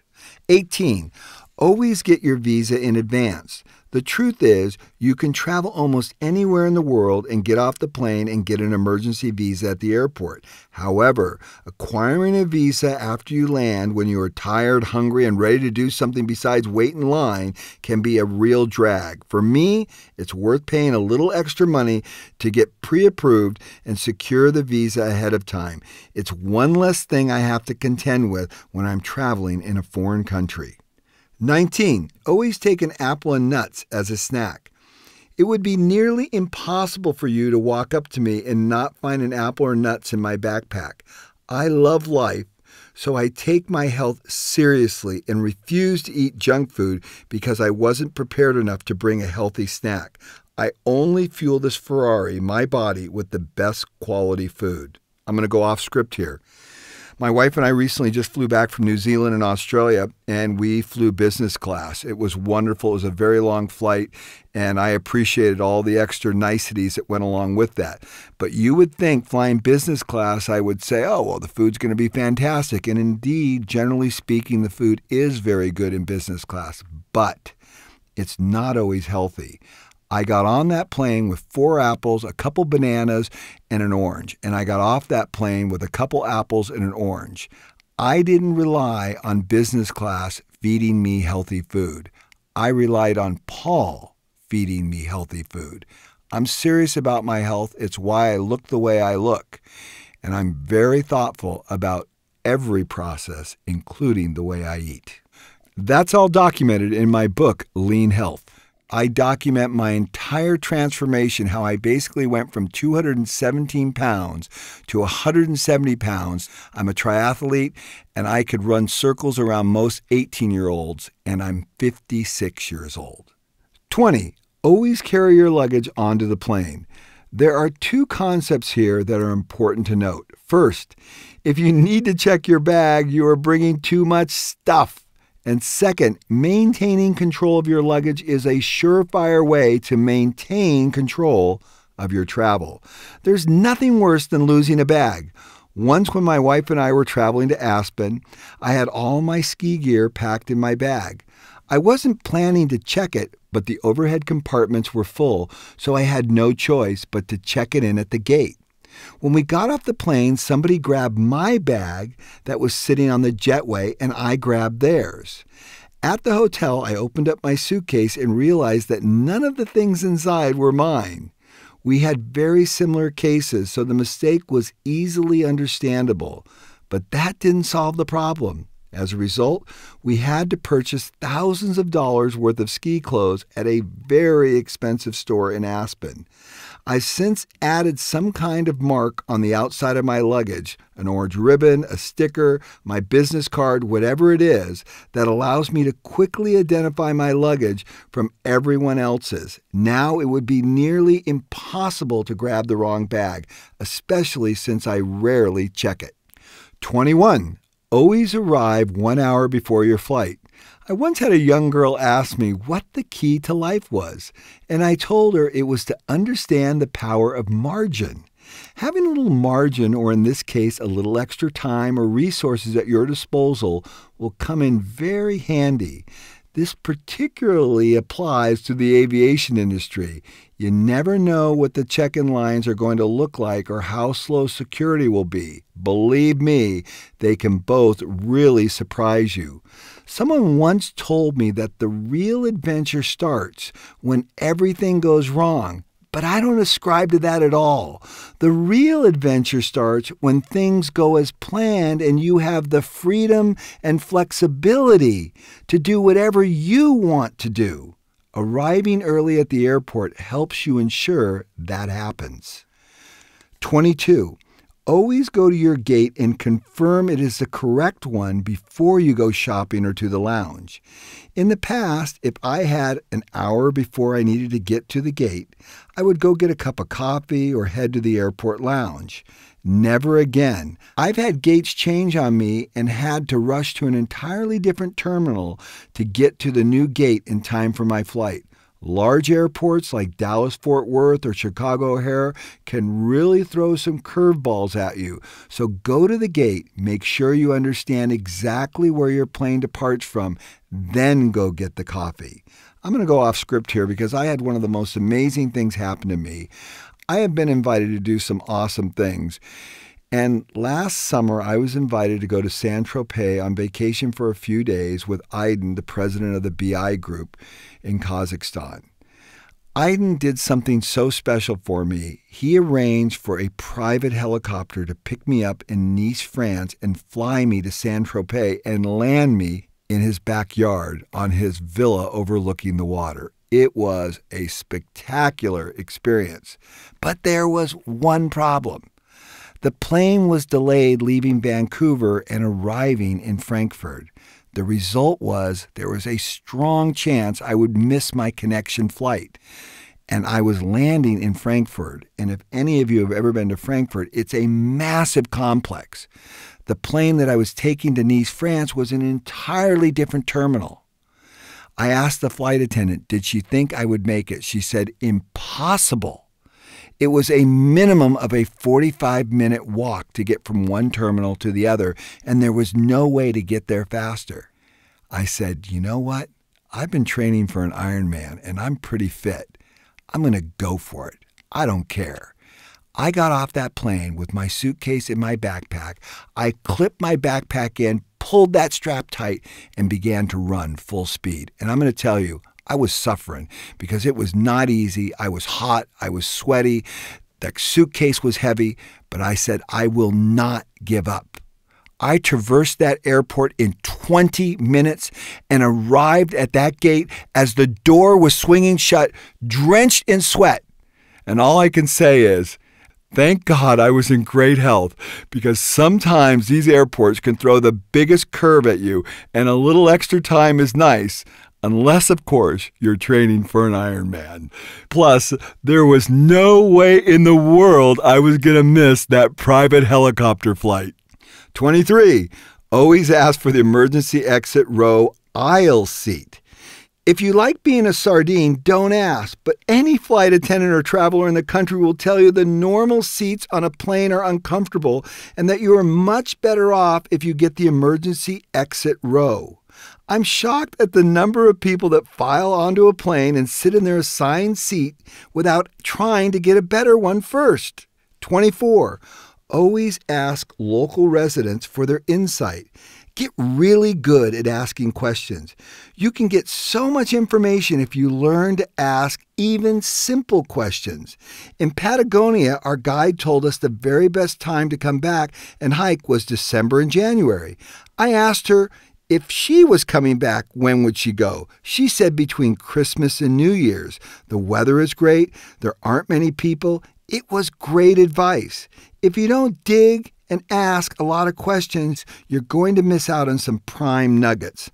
On our trip to Chile, Argentina, we asked our guides what restaurants they would eat at. I never asked them where a good restaurant is. I wanted to know the ones the guides go to. They live there, so they know all the local favorites. They know where the best value and the best quality converge. Some of the best restaurants I've ever eaten at in my life have been on the advice of Santi, our guide in the region. One was a steakhouse in Bariloche, Argentina. The other one was in Puerto Varas, Chile, which had the best king crab I've ever eaten in my life. Ask, ask, ask, dig, dig, dig, and discover gold. 25. Always double check. On a recent trip, we had to turn around no less than five times for people who forgot stuff. Chip and Kathy forgot their coat. Morgan forgot his laptop at one stop and his wallet at another stop. We had to take a ferry back to an island to retrieve it. Lisa forgot her phone at the breakfast table. All this happened in the course of one week. So much time was wasted going back to retrieve these things.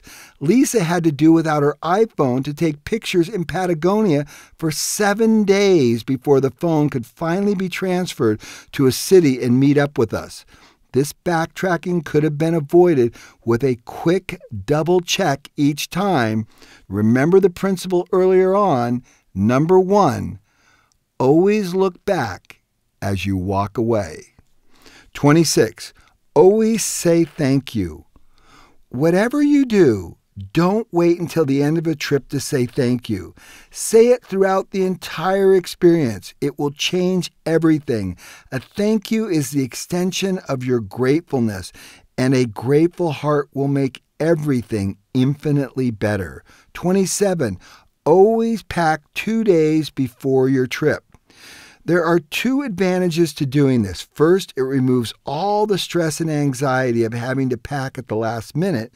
If you prepare yourself in advance, you can sit back and enjoy the experience. Second, you give yourself time to mull over the details of the trip and come up with anything you might have not packed. This makes it less likely you're going to forget something, making the trip that much more successful. 28. Always check the five day weather forecast before you leave. I use an app called MegaWeather, which gives me a 10 day forecast and a nice overview of what I can expect the weather to be like at my destination. By knowing the weather you are going to encounter on your trip, you can avoid the need to buy clothes you could have brought with you from home. 29. Always take a look at Google Maps to orientate yourself before you arrive. This helps you create a map in your mind of your destination. You learn where the airport is, where the hotel is, and where the place is you're traveling to.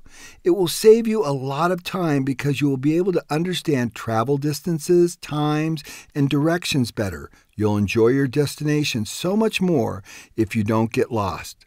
Orientate yourself. 30. Always check the local tipping customs in every country you will be visiting. In many countries, tipping is not necessary. In other countries, the tip is automatically added into everything you buy. If you do a Google search to learn the norms, you can save yourself a lot of money and angst. 31. Always check to see if the US dollars are widely accepted in a country. More and more, I find that businesses around the world will accept US dollars, which means you do not have to pay in local currency. When you exchange money, you lose a lot of value through poor exchange rates and high fees. So it is to your advantage to avoid it. Again, it helps to do a quick Google search to find out before you go. For example, if you search, Does Thailand accept US dollars? you will learn that it generally does not. However, if you are in Chile, the last place you would expect them to accept the greenbacks, many times they do. 32. Always confirm the price and details of any transaction before you commit to it. When someone quotes you a price, repeat it back to the person and confirm the details. I cannot tell you the number of times I've said yes to something and then I get halfway into the deal and find out it's costing me much more than I anticipated. Trust me, you can afford taking five seconds to nail down the details. 33. Always confirm and repeat all directions before you leave the person helping you. Repeating the directions is so important. By doing so, you make sure you didn't misunderstand them and you cement them in your mind. 34. Always take notes immediately on the details. If someone tells you something, don't tell yourself you will remember to write it down at a later time. Record everything now, just in time, using one piece flow and shunning batch work. For example, if someone says, let's meet at 8 o'clock, immediately set an alarm on your phone for 7.45. It's as simple as saying, hey Siri, set an alarm for 7.45. In the time it takes to say those words, your life will become much less complicated and you will eliminate the ups and downs and unevenness that so many people experience in life. In addition, by writing things down, you force yourself to double check the details of what the person is telling you, confirming there are no defects, no mistakes, and no waste. This saves a lot of grief later. Remember, lean is all about creating processes that eliminate defects, mistakes, and wasted time and rework. All these tips are clear processes that do exactly that as I'm recording this, Greg's hearing me say this and he says, you know, another improvement would be just to record them giving you directions. And I thought, that's exactly what Lean's all about continuous improvement. Greg's idea is even better than mine. You record it, there's no way you can make a mistake. You can play it back over and over again. What a brilliant idea. Great job, Greg. Okay, 35. Always compare at least three restaurants before deciding where to eat. When looking for a restaurant to eat at, I used to always go into the first one that looked good. After dinner, I would continue my stroll down the street only to find there was a much better restaurant just steps away. Now I make it my practice to review at least three or four restaurants before I decide where to eat. 36. Always put your razor in a case. To save weight and space in my suitcase, I switched from an electric razor to a disposable razor. When I packed it up for the trip, I would toss it into my shaving kit without putting it into a case first. Then one time I reached in and pulled out the razor, and those super sharp four blades slit my finger open like a stuck pig. I spent the next week nursing that very painful cut. 37. Always leave a tip for the maid. We rarely see them and they work so hard. I always marvel at how clean my room is and how perfectly the bed is made, even when I leave it in such a mess. I love to think about the people we really never see and do something to show them my gratitude. 38. Always build extra margin into everything you do. If the meeting time is 8:30, don't plan on arriving at 8:30. Plan on arriving at least 10 minutes early. That way, if something comes up, you will still be early enough to alleviate the stress associated with rushing to get there on time. Being punctual also makes sure you won't be branded inconsiderate by the group you are meeting. 39. Always remember slow is fast. One time I was rushing to get on my seat on the bus when I moved too quickly up the aisle and caught my coat pocket on one of the seatbelt mechanisms, ripping my down coat wide open. Did rushing save me any time? No. It cost me extra time. Worse, I had to find a replacement for my $300 Patagonia coat because I was in a very cold climate, in Patagonia, actually, and couldn't afford to go without one. When you start to rush, beware. Slow down. You could save yourself from a costly mistake. 40. Always keep your roll on suitcase in the center of the check in counter and out of sight of the person checking you in. If you get to a check in agent who is overzealous about the weight limitation, he will make you weigh the suitcase and then make you check it if it's only a half a pound over the limit. It makes no difference whether or not it will fit in the overhead. If the agent can't see the suitcase, they won't question it. Just be prepared when they ask you if you have anything to check in. Say, nope, just carry on. 41. Always make a great first impression. Once, when I was on a tour, the tour leader introduced herself, but I was a little distracted and didn't give her the attention I should have. She sized me up immediately as a problem child, and everything went downhill from there. Be extra alert when you first meet people, especially leaders, and listen carefully to their instructions and directions. Put your cell phone away and don't answer emails or text messages during the critical first 10 minute introduction. The rest of your trip will go much better. I guarantee it. 42. Always pull, not push your bag down the aisle in an airplane. There is a powerful concept in the lean world called pull and push. You want everyone to pull from you based on their true demand. If you push something on someone, there will always be waste. Think of all the wasted food the airlines pass out that is not eaten. I shouldn't say pass out, it's actually pushed out. An example of the airlines ignoring the lack of demand or pull for the actual food. They're just pushing it on you whether you want it or not. The same goes for how you move down the aisle of an airplane. In this case, remember your lean principles and pull your suitcase down the aisle. If you want everyone in the aircraft to think you have a low IQ, push your suitcase down the aisle instead of pulling it. You will soon steer it into the side of the chair and hold up everyone else on the aircraft. Pulling works much better in manufacturing and in travel. 44. Always make travel a top priority in your life. Travel will fill your mind with understanding and your heart with friendships that will transform your life. The one thing a small, consistent routine is a thousand times the power of a Herculean discipline. Chapter 7 The Experienced Traveler. It's 5 a.m. I'm about ready to board a 30 minute commuter flight from Bellingham to Seattle. I'm sitting close to the gate answering emails as a line of people crowd together to get on the plane. Instead of joining them, I sit there and remain productive. When the gate agent announces the final boarding, I calmly get up, walk to the counter, having not wasted the 10 minutes that everybody else did standing in line. She scans my phone for my boarding pass, no paper, no fumbling to find my ticket, and I head for the plane, where the other passengers are already sitting down. As I enter the plane, the flight attendant greets me warmly, and I return the greeting with a smile. My assigned seat is 2B, a bulkhead seat with better leg room than most of the other seats on the plane. Still, I'm not satisfied. A man is sitting in the seat next to mine, so I quickly scan to see if there is a better one available. To my delight, 1A, an aisle seat at the front of the plane with almost six feet of leg room, is open.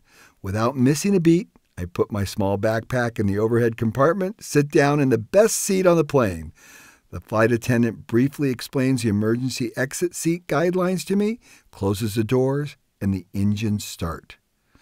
Being an experienced traveler got me 10 precious extra minutes of work, a more comfortable seat in the boarding area, the best seat on the airplane, and it got me onto the plane without having to fight the crowds of people boarding at the same time.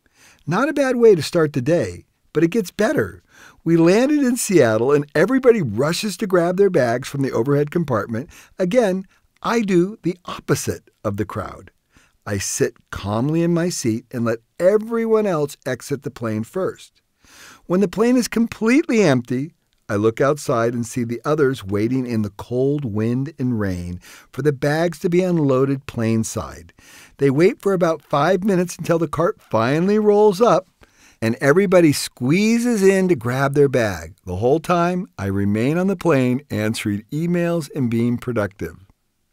When all the bags except mine are gone, it is time to get off the plane. As I stand up to leave, the flight attendant looks at me and says, you could always tell the experienced travelers. I smile warmly at her and thank her for the great service and friendly attitude. On my way out the door, I compliment the pilots on their great landing and walk down the steps, grab my bag, and head for the terminal. Once again, thanks to my experience as a traveler, I gain 10 more minutes of productivity and only had to face about 30 seconds of exposure to the wind and rain. My lean travel principles are really paying off. I hate waste and I can see it everywhere. I love efficiency and productivity. I love the fact that the vast majority of my life goes smoothly. Every year, I receive thousands of emails from people all over the world saying how much their life has been transformed as a result of reading my books. They tell me stories of how their work is so much more enjoyable and how their home lives benefit from lean thinking and continuous improvement. I never tire of hearing these encouraging words how people improve their lives without any outside help just because they learn to see waste and see things differently. A good friend of mine, Lauren Jones, says once you see waste, you can't unsee it. As soon as you see all the waste that is robbing you of life's joy, you will be compelled to solve your problems and continuously improve everything. Yes, you can transform your life by simply fixing what bothers you. Someone else sent me an email that illustrates a point with even more clarity. Lean takes the stupid out of life. Think about it. Every day, each of us perform all kinds of processes that have a lot of stupid stuff and struggle in them.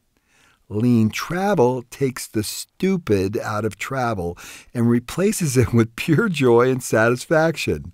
The satisfaction from today's trip began ahead of schedule. 24 hours before the flight took off, I got a notice from Emirates Airlines on my phone that I could check in. I immediately, of course, just in time, no batch work, no delay, I immediately went online and began the check in process. As I went through the check in, Emirates asked if I'd like to upgrade to business class for $1,000. Hell yes, I would.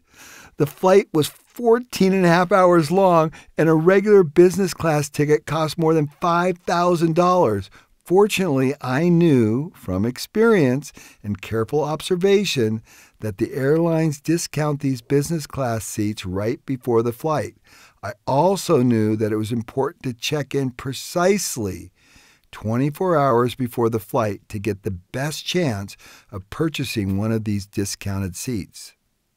$1,000 was a small price to pay for such a big improvement. Being in business class allowed me to continually work the entire flight, which is invaluable to me because my time is so valuable. My time is valuable because I'm very productive, which makes people willing to pay me more than most people could ever dream of. Thus, my lean thinking not only makes me more productive, it makes me more valuable and allows me to experience some of the finer things in life. You can see why I say I don't like lean. I love lean. When I got off the commuter flight, I had not yet received a boarding pass for my next flight. So I went to the Emirates airline gate where the plane would be leaving in approximately two hours. There's no one there except one gate agent. I picked up my boarding pass, avoiding going outside the security to the normal check in area, and asked the agent what time I should go back to the gate. He tells me the plane will be boarding at 8 and we will be in the air at 9, with the doors closing at 8:40. I double-checked to make sure if I arrived at 8:30 I would be sufficiently on time. He said absolutely. So I pulled out my iPhone and tell Siri to set an alarm for 8:15. Siri replies that my alarm is set. With extra time now on my hands, I walk to the Alaskan Airlines boardroom or the Alaska Lounge to work quietly and eat breakfast. At the front desk, I hand the receptionist my lounge club card, tell her I do not need a receipt, which would only be adding waste to the process, and I head inside. For breakfast, I would like a latte, an apple, and two hard boiled eggs. If it were my first visit to the boardroom, you might struggle to find these items because the automatic espresso and latte machine is downstairs and the apples and hard boiled eggs are upstairs. This is where your lean travel skills will help you out as I mentioned in Chapter 5, when you go somewhere new, it's best to get the lay of the land before you commit to a restaurant. This is true wherever you are, including airport lounges. So when you visit a lounge for the first time, walk through the entire place to understand what is available. If there is more than one level, explore them all. If you don't, you might miss out on some important things. I can't tell you the number of times in the boardroom that people have asked me where I got the apple. And when I told them upstairs, they said they didn't even know there was an upstairs. I grab my free latte and walk towards the elevator. But the line is very long. Waiting is waste, and I will have no part of it. So I swing my backpack onto my back, pack up my suitcase, and walk up the stairs. The beauty of this is I'm getting more exercise and not sitting there unproductively waiting for the elevator to haul my fat, sloppy body to the second floor. I have turned the management of my health into a process. I am always looking for every opportunity to exercise and eat correctly, even opportunities as small as a one flight walk up the stairs. Every second is precious, and I try to always deliver value and improve the quality of my life. If you think I'm obsessive about improvement, consider this. Everywhere I go, people tell me they want my life. I tell them they can have it if they learn to see waste and think lean. When my friends ask me, Paul, how do you do it? The answer is really quite simple. I just learn from my experience. There's nothing magical about me or my knowledge. Once you figure out how to deliberately learn from your experiences, you no longer allow stupidity to become a common habit that hurts your success. In order to learn effectively, you have to understand a few tools, and the most important one of all is learning to see waste. This is the key to becoming a successful, experienced traveler. The one thing open your eyes, waste is everywhere. Your wealth and the quality life you seek will be found by eliminating your waste. And for the record, I'm not talking about bio waste, but it is as true in the bathroom as it is in life. Chapter 8 All we need is fat Navy SEALs. The goal of this book is to help people live better lives by traveling smarter and teach them to learn and improve by incorporating the best practices they observe in the different cultures they experience. It has always been my goal to be positive and not seek to point out the negative or be negative. That said, this chapter is a blunt call to action for my fellow Americans. It contains a harsh message because I love my people and I love my country so much, I am compelled to share it. If you're not an American, don't point fingers at us. We all have problems. Whenever I think about the Navy SEALs, the most elite troops in the entire U.S. military, I think of people who are the epitome of physical conditioning and mental toughness. I say this with firsthand knowledge because I have a few friends who are Navy SEALs. No matter where they are in the world, enemies of the United States tremble at the thought of being hunted down by one of these highly trained warriors. The SEALs are held to extremely demanding standards of physical fitness, which sets them far apart from the physical condition of most Americans. If the average American were set out to pursue our enemy, they would be laughed at and return without succeeding. Why? because we are the fattest, sloppiest people on earth. I warned you this message was harsh. It doesn't matter where I go in the U.S., almost everyone seems to be obese. This is not the case in other countries. I've traveled to over 60 countries, and it's rare to find one where the majority of the population is fat and overweight. I just returned from a month in South America, where I marveled at how many people were reasonably sized.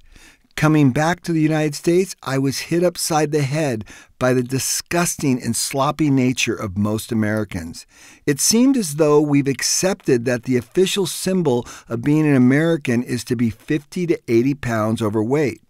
Not too long ago, I brought a delegation of high level international business leaders to the U.S.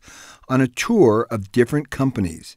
Near the end of the trip, one of the American managers we met graciously offered each of my guests a golf pullover from his company. It was a wonderful gesture, but there was one problem they were too big. The average weight of the people from my delegation was 150 pounds, and the box of golf shirts was sized for people like the Americans around us, most weighing 280 to 350 pounds each. When our host opened the box to let them choose the size, right on the top were the 3XL size pullovers. When I saw that, I knew we were in trouble. We went through the whole box and found only three mediums. The rest were too large. Our host sheepishly apologized, commenting that the pullovers were sized for big Americans. I thought to myself, you mean fat Americans. Don't get me wrong. I love America and think it is the greatest country on earth. But I was very embarrassed. We should all be ashamed of our ridiculous gluttony. My international guests were thinking the same thing. You could see it in their eyes. Our weight problem is everywhere. As I went through security at the airport this morning, I thought to myself, it must be required to be obese in order to work for the TSA. As that thought passed through my mind, a policeman walked by me who looked like he was nine months pregnant. Does anyone in America respect their body? I thought. Everyone is fat. And not just a little fat, we have conditioned ourselves to think this is normal, when in reality, it is disgusting. I know you think I'm exaggerating, but look around. I challenge you to find people who are trim and fit in America. They are few and far between. The average American looks like they're three to nine months pregnant, including men. Just now, as I was boarding the plane from Denver to Seattle, there was a guy so big that he was hanging six inches over both sides of the seat and into the aisle. I could not get my rolling suitcase by him. So he had to lean over and envelop the guy next to him just so I could get past. What causes this type of obesity? I'll bet anyone a thousand bucks that if you're fat and overweight, it's not because of your genes. It's more likely because you eat food. Look around at all the people who are overweight, then watch what they eat. Add it up. The math is simple. We need about 2,400 to 3,000 calories a day, not 5,000 to 7,000. If you're going to stop me and tell me about the corporate conspiracy to make us fat, or that our schools are not educating our kids about the proper nutrition, or that the government is disseminating misinformation, I don't want to hear any of it. This is simply about personal responsibility and people engaging their brains. Good information and bad information are everywhere.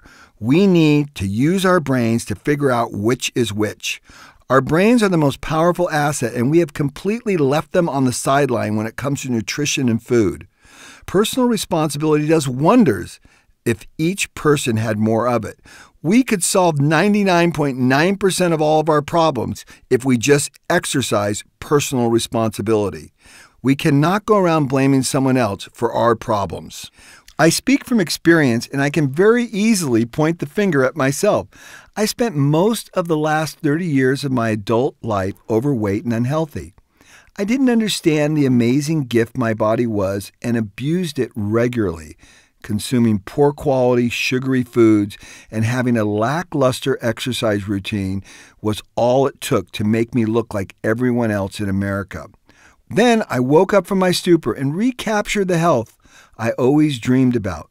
My transformation was so compelling that I wrote a book about my journey called Lean Health.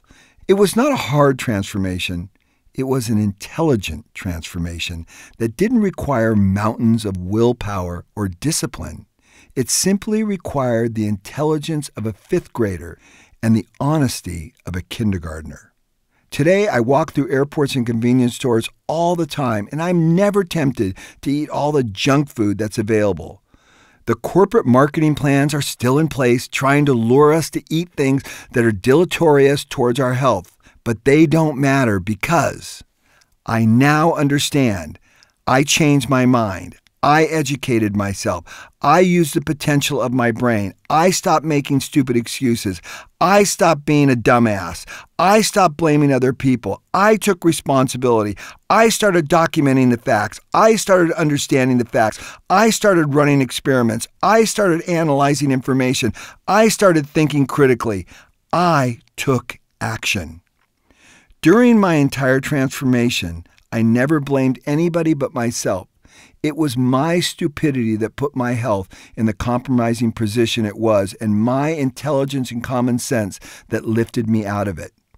If I blame my problem on someone else, I wouldn't have done any of those things, and I wouldn't have gained any of those tools or resources for personal development. Blaming poor health on anyone or anything else is a crock of. We have a free will. There are no handcuffs on any of us hey, I'm going to go off script here. You know, my engineer said, Are you fat shaming? Well, first of all, I don't even know what fat shaming is, but I'm not trying to fat shame. I'm trying to speak the truth. Now, I understand there might be a very tiny percentage of people out there that might have some medical condition that might cause this. But the bottom line is hey, let's face reality. I travel all over the world, and there are very few cultures in the world that have the problem that the U.S. has. So it can't be some genetic problem when the rest of the world is not obese and fat like we are. Sure, there are countries that are more fat but nobody even comes close to what the U.S. is facing. We have to wake up and smell the coffee. You want to talk about the expense of our medical bills and everything that's going on in our healthcare system? It can largely be eliminated if we just took personal responsibility. When I meet most people and I walk into their homes and I walk into their bathrooms, you know what I see? A whole lineup of prescription drugs on the counter. I can't even imagine what that would be like to take all that crap every day. I'm telling you, this is largely self induced. And I am 99% sure that is the fact from a couple observations. Number one, my own life and what I did to myself. And a lot of my close friends have gone through the same thing. And I've seen the same thing repeated over and over again. We need to wake up. The one thing I really enjoy about travel, apart from dodging all the garbage in the airports and convenience stores, is the voluminous amounts of fresh fruits and vegetables I find all over the world. People in other countries are not exposed to the same amount of prepackaged crap we Americans eat. Food is for nourishment. It is not to mask pain or fill voids in our unbalanced psychologies. Here's my advice stop opening packages when you eat. Instead, Peel a banana, bite into an apple, taste and enjoy fruits and vegetables. You won't believe what you've been missing. Eat plants, not things made in plants. I'm not a vegetarian, but I have changed my diet to make sure 80% of it comes from fruits and vegetables. I get my protein from fish and chicken and nuts. Everything is so simple. Instead of lowering our standards for what it means to be healthy, we need to raise our standards. We would never dumb down the requirements for the elite Navy SEALs. Can you imagine? Hey, First Lieutenant Stevenson, your mission is to go out and capture and kill the bad guys in Afghanistan. And by the way, don't worry about your beer belly. I'm sure you won't have to chase them down. We shouldn't dumb them down for ourselves, our children, our law enforcement, business and political leaders, teachers, professors, bus drivers, health professionals, doctors, scientists, pilots, mothers, fathers. Everyone is fat and grossly overweight. For the love of God, America, wake up. Not even the Navy SEALs can protect you from this stupidity. The one thing, America, open your eyes. The world is shaking its head at you. Chapter 9 Horse's Ass or Diplomat. I am a triple A personality. I'm not passive, I'm very determined, and when I have a goal, I go after it, and I will not quit until I achieve it. In the past, I was perfectly capable of tearing someone a new one if they crossed me the wrong way. However, I've learned through the process of continuous improvement how to temper myself in the most trying situations. It is important that as humans, we are continually reflective. The Japanese word for this is hansei, which means to reflect on actions and improve them over and over again. With my strong leadership tendencies, it was important to embrace this philosophy, lest I become bound to always getting my way and hence never learn or improve. What follows is an epic story of self control and continuous improvement. In it, I achieved an extremely favorable outcome in the most unfavorable circumstances, largely because of my determination to reinvent myself and not settle for business as usual. In the past, I typically didn't concern myself with other people's approval, but this time I could see clearly that if I ignored public opinion, it wouldn't matter how right I was, I would lose this epic battle. In my wildest imaginations, I could have never written a story with more twists and turns and drama. The plot unfolds around a month long trip my wife Leanne and I took to Chile, Argentina, Easter Island, Brazil, and Patagonia. It was a trip we had been looking forward to for a long time. Both of us are very busy executives in our company, FastCap. She gets to work at 6 a.m. every day, and if she's lucky, she leaves by 7 p.m. For nine months of the year, I travel, speak, and consult all over the globe. So whenever we get time to be together, it is a special and important time. For this trip, Leanne did most of the planning. She organized the trip through a tour company called Overseas Adventure Travel, or OAT. It was our second major trip with OAT. In 2015, we took a fantastic one month trip with OAT to Southeast Asia. We were so happy with our experience that we had already booked an additional one month trip to Australia and New Zealand in 2017, and were in the planning stages of an additional trip to Antarctica during the same time period. We were still friends with the group leaders and new friends we had made on that trip. In Southeast Asia, I produced 13 videos documenting the trip, which had thousands of views and preserved many wonderful memories for our entire group. They also proved to be great marketing tools for OAT. After seeing them, our good friend Dana wanted to join us on the trip to South America, as did a new couple, Morgan and Lisa Lohman, who had never traveled outside the United States before. They saw the videos and wanted in on the adventure. Everyone was expecting to have a great trip. Prior to our departure, Leanne corresponded several times with our group leader, Graciela, to make sure we had everything we needed for the adventure. Their communication was cordial and non eventful, but the calm was misleading. Yvon Chouinard, the founder of Patagonia, said that real adventure starts when everything goes wrong. Not only was everything about ready to go wrong, but that was going to hit the fan, and I would be tested for intelligence and political sagacity. On the first leg of our trip, Leanne and I flew into Santiago, Chile, where we met up with the rest of our group. We really did not know what to expect, though we had traveled extensively throughout Mexico, Central America, Cuba, the Caribbean, and we loved the Spanish and Latin cultures. South America was a continent we definitely wanted to discover with its rich diversity of cultures and European influence. One thing for sure, our expectations were high, and we were looking forward to seeing new places, especially the enchanting region of Patagonia. At the airport in Santiago, we met our local guide, Paul. Paul was warm, friendly, and outgoing. Everything we had come to experience with the other guides we had had in Southeast Asia. But we both thought it was odd that Graciela did not meet us herself. Normally, the primary trip leader would meet us at the airport because she would be in charge throughout the duration of the trip. It was not a big deal, but it was a little strange. When we first met Graciela at the hotel, she didn't seem as warm as we expected. She asked us how our flight was, and my wife exclaimed, It was awesome. Graciela looked at her with no expression and uttered, Oh, as if to say, Aren't you a strange bird? Who says awesome after spending 16 hours on a plane?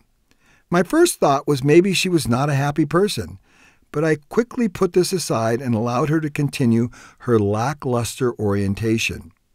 For whatever reason, Graciela just didn't seem excited about the huge adventure we were all about to embark on. Unfortunately, her attitude went downhill from there. We got our room keys and went upstairs. To our surprise, the room had three single beds in a very small and crowded space. Unhappy with the three star accommodations, I picked up the phone and asked the desk manager if they had a room with one queen bed instead. He said no, and that this was all they could give us. Again, we were surprised at how the trip was starting. OAT is not a cheap outfit, and it usually provided us at least four star accommodations, unless we were staying in some very remote location. Santiago, Chile is not remote at all. I knew Graciela was still down in the lobby, so I asked the desk manager if he would put her on the phone. I explained my concern to her, and she snapped at me and told me that having single beds was the standard. I was shocked. I was the customer, and she was telling me I was wrong and didn't want to help? I explained that we never had this kind of accommodations on our previous trip with OAT, and she again barked at me and said I was wrong. I told her I didn't think she was listening to me and that I hadn't come on a one month long vacation with my wife to sleep in a separate bed. She retorted that I wasn't listening to her. At that moment, I knew I was going to lose this battle and that I needed to back off and get away from a very tense situation. I pulled the phone away from my ear and lowered it very slowly to the cradle without saying a word. Graciela's hostility was palpable. and I felt I needed to back away or something bad was going to happen. A few minutes later, the phone rang, and she asked me to come down to have a meeting with her in 15 minutes. No problem, I told her. I would be on time. Before I made it downstairs, my wife went to the lobby. Graciela came up to her and told her she would not be disrespected. Leanne explained, We weren't disrespecting her. We simply requested a bed together. Graciela told her the queen and king beds were for the single customers and couples were only given a bed together if they requested it beforehand. Leanne replied that when we traveled with OAT before, we never had to do that. Graciela stuck to her guns and said that was how it worked. When I arrived soon thereafter, Graciela held out her hand and said, Hello, I'm Graciela. Let's start over. Her tone was gruff and authoritative. I held out my hand and shook hers and said, Okay. She explained to me that if we were going to be together, I needed to give her respect. I said in a very quiet and respectful voice, Respect is something that's earned. Apparently, that wasn't what Graciela wanted to hear. She began to insult me again and call me a machine in a very low, demeaning fashion. It was an odd comment, but I guess she said it because I was so measured and showed no emotion. I knew being emotional would do nothing but exacerbate the situation. Graciela was charged and looking for a fight, and I was running as fast as I could. Believe me, avoiding confrontation is not in my nature. My willingness to not fight with her came from continuous improvement I've implemented in order to make myself more agreeable in group settings. I am a strong leader, and I'm fully aware that sometimes you have to be willing to follow and not always lead. The conversation with Graciela was going to go nowhere, so I quietly walked away. We did not speak to each other for the rest of the day. The next morning, Graciela confronted me again at breakfast. I was minding my own business, eating and talking with my friends and my wife, when she cornered me, demanding my respect. Up to this point, I had attended every meeting outing into the city, always been attentive, and never doing anything to distract from the group. I minded my own business and tried to steer clear of Graciela's hostile demeanor. Nonetheless, she was relentless, and I again walked away without saying a word. There was no way you could have a conversation with her. She was hostile from start to finish. Her agenda was clear. She wanted me to grovel and say I was wrong, when all I had done was ask for a queen bed. In my mind, this was a very minimal standard for a trip that cost thousands of dollars. The last thing that would be appropriate in this situation would be to apologize for expecting something so basic. The next day, she confronted me and demanded I leave the trip right before we were ready to go to Easter Island. I told her I was not prepared to do that. She got in my face, but I did not respond to her. I was not about to allow this woman to destroy a very special vacation that my wife and I had been looking forward to for over a year. We all boarded the bus and headed to the airport. When we arrived to check in, Graciela did not have a ticket for me. She had already canceled it, thinking I would back out. When she saw that I did not, she had to scramble to secure a ticket for me so I could get on the plane with the rest of the group. Despite her antics, I never said a word to her or showed any disapproval in any way at all. When we got to Easter Island, we had about three hours before our next scheduled event, so Morgan and I decided to rent a scooter and a four wheeler to go exploring. When it was time for the bus to leave, we asked Graciela if we could follow the bus to our next outing, and she seemed to have no objection. When it was time to go, we pulled in behind the bus on our scooter and four wheeler and prepared to follow it.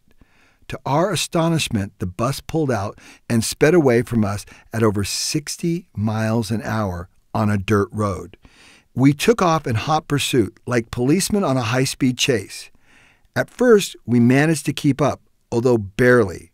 I ride motorcycles at a very high level, and it was everything I could do to keep up with the bus which was going around corners at speeds that seemed totally unsafe. Eventually, though, we had to give up. Morgan fell behind first. His scooter was too slow. My quad was faster, but even when maxed out, it could not stay up with the bus, which was flying. We admitted defeat and slowed down. When we got to the town where we were scheduled to visit, Morgan and I crisscrossed up and down the road looking for the group, but to no avail. We never found it. Later on in the afternoon, we reconnected with everyone back at the hotel. I asked my wife what happened, and she said the group couldn't figure out what was going on. The bus was driving so fast that the women were squealing as it went around the corners. The only thing I could figure is that Graciela told the bus driver to lose us, so he drove at ridiculous speeds to do it. The irony of the story is that she had told us that we were visiting a quiet little island where everyone moved at a very slow speed and we needed to tone down all of our expectations because things happened very slowly. The trip only got stranger from there. The next thing you know, Graciela was barking at Leanne for being a few minutes late to the bus, along with two other people. Graciela waved her finger in my wife's face and said if we were ever late again, she would leave without us. Leanne apologized over and over, but Graciela wouldn't stop. She continued to reprimand her in front of everyone until she started crying. Other passengers tried to console Leanne by saying they thought Graciela was out of line and they were sorry she was being so mean. It was clear that Graciela was taking out her disapproval of me on my wife. Other people were often late and were never scolded. In fact, Graciela herself was late and held the rest of the group up, and no one paid any attention to it. That's just part of traveling with a group. My wife's tardiness was inconsequential compared to other people's, yet she received a scolding that was completely uncalled for. We were beginning to wonder whether this trip was a good idea or not.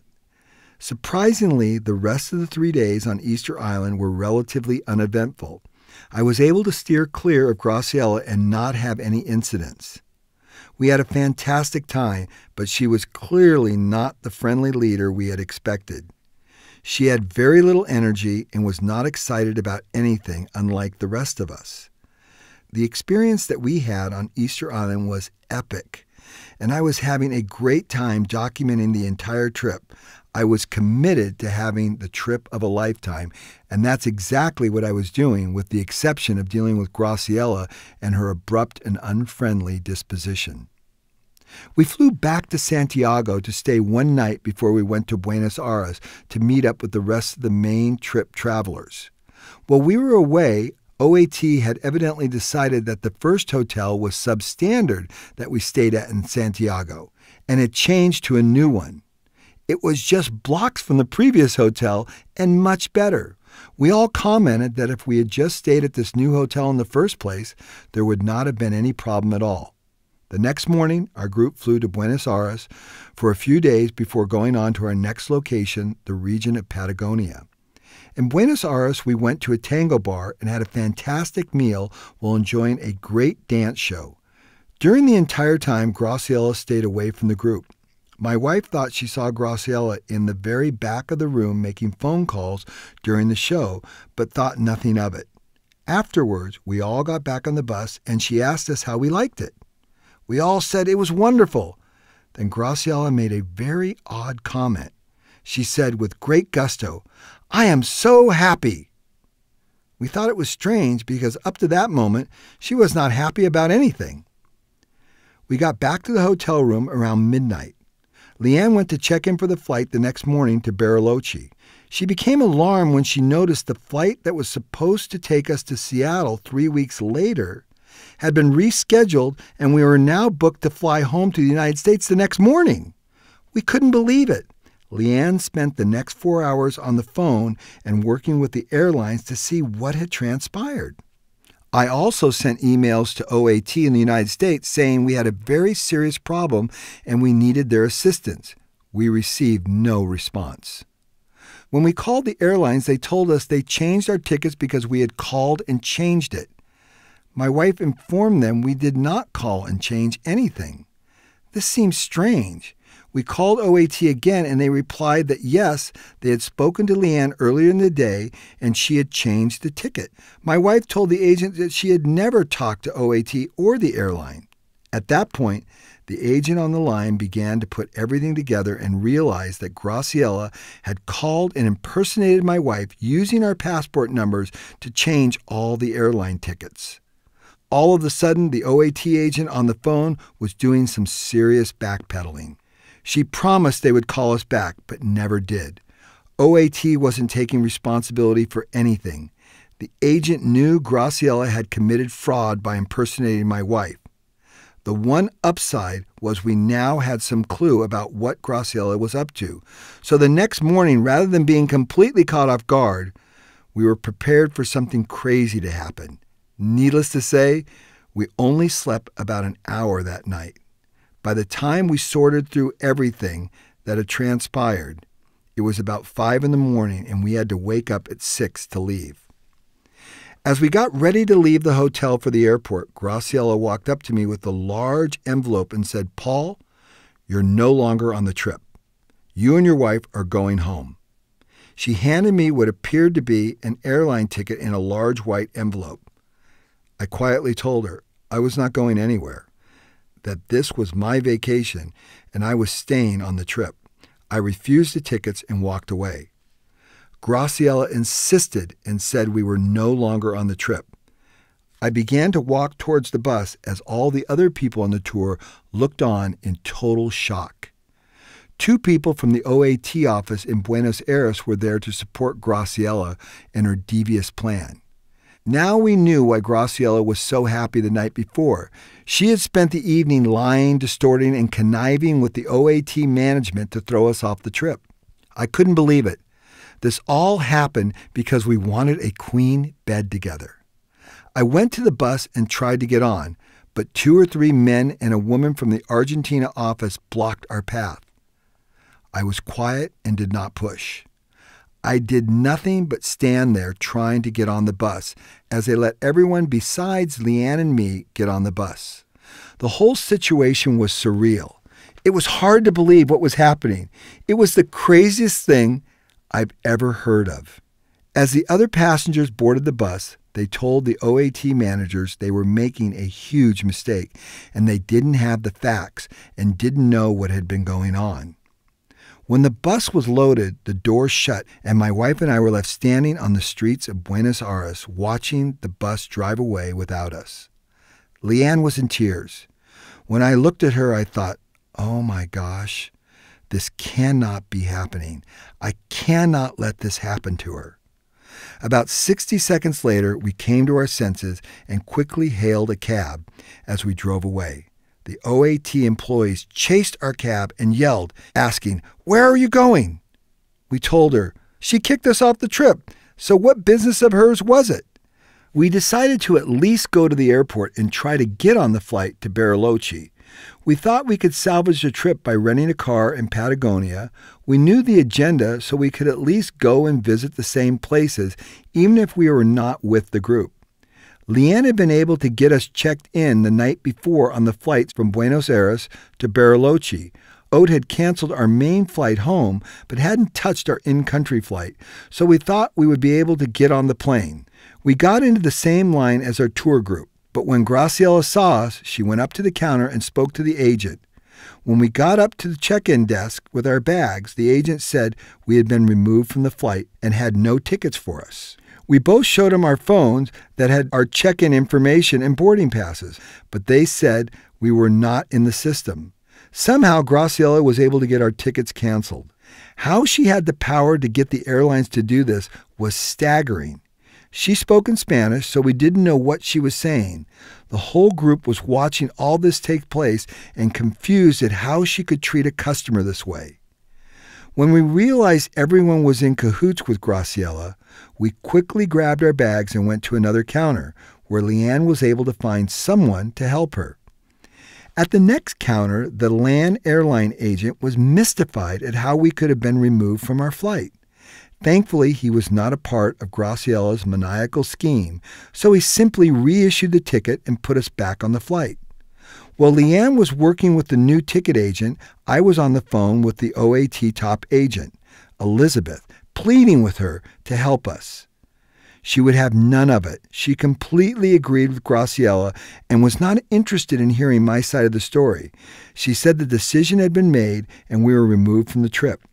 I explained that they didn't even do their due diligence. They didn't ask anyone else on the trip, nor did they call the guides that we had worked with in Southeast Asia. I asked them to ask somebody for the facts, but she refused.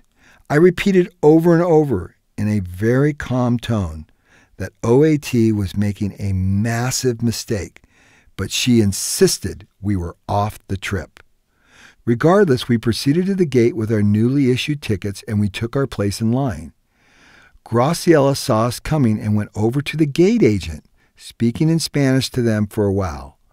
When the agent scanned our ticket, they pulled us aside and said there was a problem with them. We asked what was wrong, but they ignored us. We asked for a manager, and they ignored us again.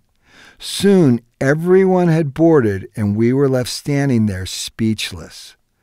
Three times right in front of us, Graciela was able to get LAN Airline to cancel tickets we had been issued. After the plane had been loaded for 10 minutes, the airline employees were trying to figure out what to do with the two of us. I had never seen anything like it. Finally, for reasons that are still unclear, the agent came to their senses and said the tickets were valid. They scanned us through and we walked onto the plane, shocked and relieved at the same time. We could not believe the drama that had just unfolded over the last two hours. We were kicked off the trip, had to get a cab without speaking the language, figure out what airport to go to. Then we were kicked off our flight three times, but we were able to negotiate to get our tickets in a domestic airport that we had never been to before. Now we were back on track, walking up the aisle of the flight to Bariloche, Graciela had the most disgusted look on her face as we walked by, but we didn't acknowledge her. We minded our own business and sat down. When we landed in Bariloche, we went to get our checked bags. Graciela stood across the baggage carousel from us, fully engrossed in a telephone conversation, with a very upset look on her face. We grabbed our bags and went to rent a car and find somewhere to stay. Our fellow travelers looked at us in dismay. One woman was crying, and many of them said, Good luck. We are so sad this is happening to you. Graciela had really put everyone in a difficult place. Our friends traveling with us were upset, but they were also worried she would retaliate against them and get them kicked off the trip. Our new friends were clearly not happy with what had transpired, but they were afraid to go against her as well. We ended up deciding to stay at a different hotel than the rest of the group, thinking it best not to rub it in that we made it to Bariloche despite Graciela's plan. We were trying to make the best of a bad situation, even though it was at great expense to us over $800 for the hotel and car alone, not to mention the cost to come as we would travel onward. OAT had ended the conversation with me saying they were standing by their decision to cancel our flights and we were on our own to make our way through South America. When we scheduled the trip originally, we had told OAT we were planning to go to Iguazu Falls by ourselves after the official trip ended. We had already booked those flights and hotels on our own. So we planned to stay and meet back up with our friends when the tour was over in about three weeks. We spent the day making our way to our new hotel and getting situated. We let our friends know where we were staying and made the best we could of a very strange situation. Later, when we were at dinner, I received a call from Elizabeth at OAT. She told us that they had replaced Graciela with a new trip leader and we were welcome to join up with the group in the morning. We said we would. We didn't ask how or why that decision was made. We took the high road and decided to just move on and join the group. When we met him, we were pleased. He didn't seem to harbor any preconceived ideas that we were the problem people. We made it a point not to talk about what had happened with everyone, but instead to forget about what had happened and move on. The rest of the trip was amazing. Santiago and the local guides at each place were so good. Other travelers thought it was a blessing in disguise that we had to experience what we did so the group could have a better trip leader. Santi was friendly, happy, and informative and fun. We ended up with a great outcome in spite of a bad attitude and continued efforts of Graciela to derail our trip. Thankfully, I had made improvements in the way I deal with difficult situations before we went on the trip. One thing is for sure you should not expect all your travels to go perfectly. There will always be problems and ups and downs, but if you embrace lean thinking and continuous improvement in the way you pack, plan, and improve your disposition and attitude, your travels will generate fantastic stories that you will tell over a glass of wine for years to come. Speaking of stories, did I tell you the one about the binoculars in Africa? Keep reading.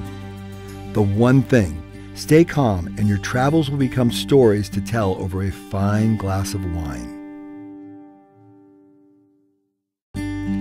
Chapter 10 Know the facts and understand the details.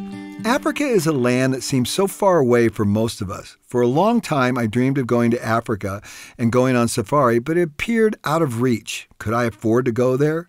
Would I ever be able to make the time to go to a land so far away? With its multiple languages and cultures, how could I negotiate the unfamiliar environment successfully? I had lots of questions and certainly not all the answers, but I kept trying to find them. In the lean world, we emphasize the necessity to observe, ask questions, and fully understand the facts before we proceed to make changes or improvements. This deliberate approach makes problem solving more effective.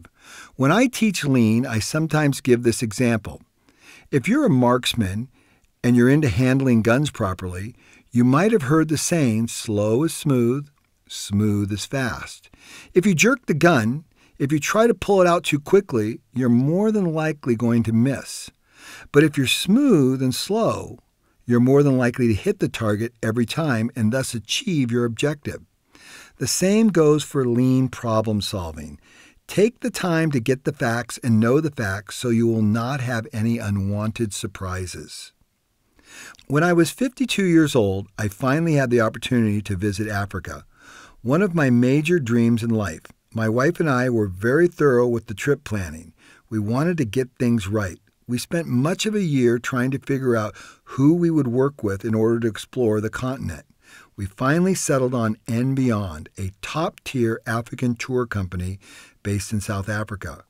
We took along our good friends Cindy and Gordon, who were total hoots and fun to be with. Just like most of our trips, there would be a few twists and turns, and Cindy and Gordon would be in on all of them with us. The four of us were ready to have a fantastic time. The trip would be full of firsts for me. My first time on an Airbus 380, an amazing double decker airplane. My first time seeing lions in the wild. My first time walking with a cheetah in the bush. My first time seeing a leopard in a tree after it had made a kill. I could never put into words everything we saw, but I made a video for each day I was in Africa, so it is all documented. We met up with our friends at JFK Airport in New York, where we boarded the A380. Upon arriving in Johannesburg, South Africa, our guides picked us up at the airport and drove us two hours to our first camp, the Phinda Forest Lodge, where we would begin our safari. The whole idea of a safari is to take you into the middle of nowhere, but I guess I didn't realize just what that meant. I mean, we were in the middle of nowhere. As we approached the camp, we had to drive through a small African village where people were selling things on dirt streets. Everything seemed very primitive. I was very nervous that our lodging would be primitive too. We paid a lot of money to go on this trip, and I was expecting some nice accommodations. We had worked very hard to do our research, and we didn't want any surprises. As we approached the entrance to the camp, we only saw one small wooden bench sitting beside the road. The driver stopped, got out, and said, Okay, you're home. I thought Cindy and Gordon were going to kill me because I had just made them spend $20,000 and it looked like we were about ready to get ripped off. My lips were trembling, but I got out of the car without protesting. Before long, a young man showed up with a wheelbarrow, loaded it with our luggage, and began to roll up a narrow dirt trail and through the bushes. I followed along, wondering what was going on. Were they going to walk us into the bush and mug us, take our money, our passports, and leave us to the wild animals? I had anticipated driving up to a grand entrance with a large porte cochere where a bellman would greet us with a nice hot latte, not walking up a narrow dirt path through the bush. My fears were premature, though. After about five minutes, the path opened up into a beautiful clearing where there was a fantastic lodge overlooking the savannah with wild animals everywhere. The porter showed us to our room where we would stay. As we walked down the trail, a man carrying a spear went with us, just in case an unfriendly animal jumped out of the bushes. Our private tent was nothing short of five stars and stunningly beautiful. Best of all, it was in the middle of nowhere. You could not see anyone. As soon as the porter and guard left, all you could hear was the commotion of the wild animals around you. The porter cautioned that when we wanted to leave the cabin, we needed to call and have the guard come and escort us to the lodge. Walking around by yourself was not an option here. We were also warned never to leave the door open. In fact, once we opened the door for a bit too long, and I mean just a split second, a monkey ran in and stole an apple from our fruit basket. This is a little bit off script, but that monkey had our number. When we were walking up that path, he must have looked at us and said, Lunch. We would not be disappointed at all by the &Beyond experience. It was nothing short of over the top. Later that afternoon, as we settled into our room, we went on our first game drive. We loaded into an open vehicle with James, our ranger. Everyone was so excited. We were on safari in Africa. For the next couple of hours, we drove around, frequently stopping for James to point out interesting animals, plants, and other unique features of the landscape. Many were right next to the Land Cruiser, but some were very small or way off in the distance, so James used a pair of binoculars to identify them. Neither Gordon, Cindy, Leanne, or I had thought to bring binoculars. And after an hour and a half of passing the binoculars around between us, we decided we needed to get some of our own. When we got back to camp, we went to this tiny gift store at the lodge. Inside the store, a small locked glass case containing two pairs of binoculars, exactly what we needed. I asked the sales assistant if we could try them out. She nodded. She opened the cabinet and handed me the binoculars. I took them outside to observe a bird that was about 20 feet away. Oh my gosh, I exclaimed. I have never looked through a pair of binoculars that clear and sharp before. The young woman did not speak much English, but I was able to inquire how much they were. Using a calculator, we figured they cost about $350 based on the current exchange rate. The price seemed a little bit expensive, but we were in the middle of nowhere and they were excellent quality. I wasn't planning on coming back to Africa anytime soon, and I really wanted to be able to see everything without having to wait for others to finish using the binoculars. What the heck, I thought. It sounds like a reasonable proposition. I was about to buy them when the clerk told me something that was a little curious. She said I could rent the binoculars if I wanted to. I calculated the cost of renting them versus buying them, and there really wasn't much difference, so I decided to buy them. Man, did I have the facts screwed up on this one. I was in a bit of a hurry because we were only about 10 minutes away from another game drive, and I wanted to secure the binoculars and get on the truck to start looking at all the cool things James had been pointing out. At this point, I should have reminded myself to slow down, get the facts, know the facts, understand the facts, and you won't have any unwanted surprises. There were so many warning signs, but I ignored them all. Now, after having traveled to 60 countries, I am keenly aware of those cues, and they will never go unnoticed. I travel with other people and I see them miss things all the time and they end up with all the unwanted surprises the cab fare that cost three times more than they thought, the tour that didn't include five additional things, the dinner that was twice as expensive as they first thought. All because they ignored the facts and didn't take time to make sure there was clarity with the information that was being given them. A few minutes later, Cindy came by and I told her about the great binoculars I had just found, and they were really not that expensive. She quickly ran into the gift store and asked to look at the other pair in the case. She tried them out and was amazed at how good they were. She was also happy because they were only $300, a little less than the ones we had bought, and she felt they were even a better deal.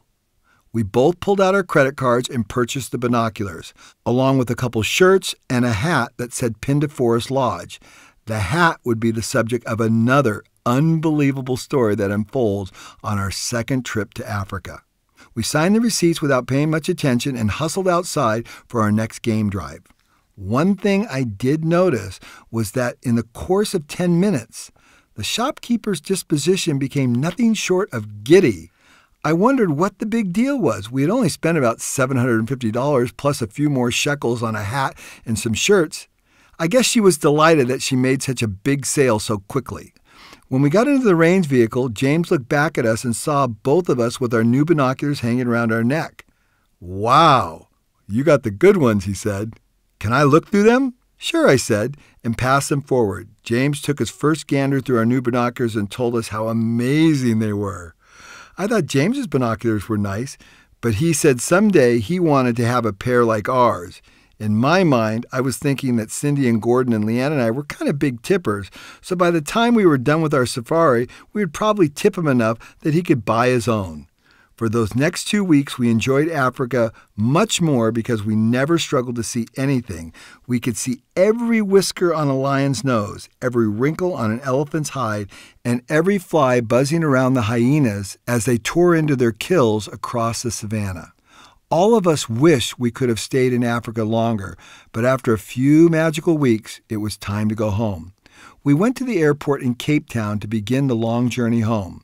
Before we left, we requested our refund for the VAT tax on all the purchases and gifts we had bought while we were in South Africa.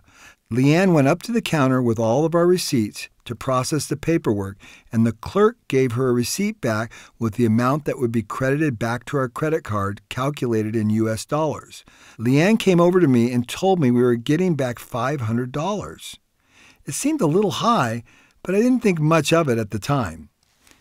A week later, Leanne got a phone call from Cindy and asked if Leanne had seen her credit card bill for the binoculars yet. Leanne told her no, not yet.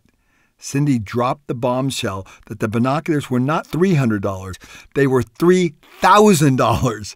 Leanne wanted to call the gift store in Africa to check the price, but Cindy told her she had already gone online and researched Swarovski binoculars. She found them on Amazon for over $3,000.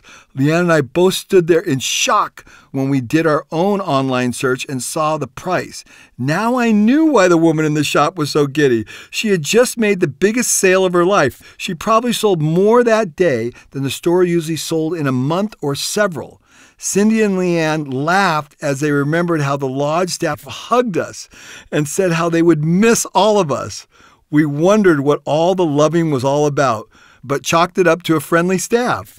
After everything settled in and we realized the magnitude of our mistake, Leanne and I both agreed that it was a painful mistake, but at least we could afford it. Besides, we wanted to only remember all the wonderful things about Africa. Without a doubt, our safari experience was greatly enhanced by having the exceptional binoculars. Instead of letting the mistake taint our experience, we turned it into a positive. We tell the story to all our friends and laugh about how we made such a big mistake. Another good thing about it is that I learned a very, very valuable lesson. When someone says they're going to do something for me, whether at home or traveling, I make sure I understand in detail exactly what the price is and what's included. The result is I don't have many unwanted surprises. Clarity is king when you travel, just like cash is king. Take an extra 15 to 30 seconds and ask a few more questions, no matter where you are. Make sure there's absolute clarity before you give the cab driver the directions to where you want to go. Confirm that he is willing to sit and wait so you'll have a cab when you come back out. Get the driver's phone number, program it into your phone.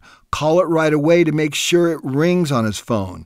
When the hotel staff gives you a Wi Fi password, write it down in front of them. Make sure it works so you're not running up and down the elevator trying to get the Wi Fi working. If someone tells you a meeting time and location, double and triple check it so there is no ambiguity. The list goes on and on. So much of travel can be enhanced by simply taking a few seconds longer and making sure you have the facts and total clarity. Above all, make sure you know the real price when you're looking at Swarovski binoculars. The one thing 100% clarity is golden and it will save you a lot of gold. Chapter 11 Details. I'm going to go off script immediately here. Many of you know that I'm very passionate about the Japanese culture and I've spent a lot of time in Japan. I actually do a lot of teaching in Japan, bringing companies from around the world there to understand why the Japanese have been so successful. Well, I've really distilled it down to just one basic thing. The Japanese are very, very precise. Or another way of putting it is, they are not sloppy. They pay attention to the details. And their obsession with details allows them to produce very high quality products that the rest of the world wants. So, as I observed this transcend through their entire culture, I began to realize really just how sloppy I was in my life. And as a result, I started spending a lot more time paying attention to details and being more precise about everything I do. As a result, I wrote this chapter, chapter 11, called Details, and really a lot of the thinking is the result of what I've learned from being in Japan. So, with that as the backdrop, you'll hear my points here in this next chapter Details. When I did the outline for this book, I came up with over 48 different chapters. There was no way that Paul Akers was going to write a book that long. I'm all about short and simple and cut to the chase and get to the point and get it over with. As I finished the last few chapters, I noticed there were still a few things that I really needed to discuss. So I decided to add a chapter that summarized some important points and call it Details. Everything you're about to read is a result of me observing processes and then asking myself the following two questions Where is the waste? And how can I improve this process?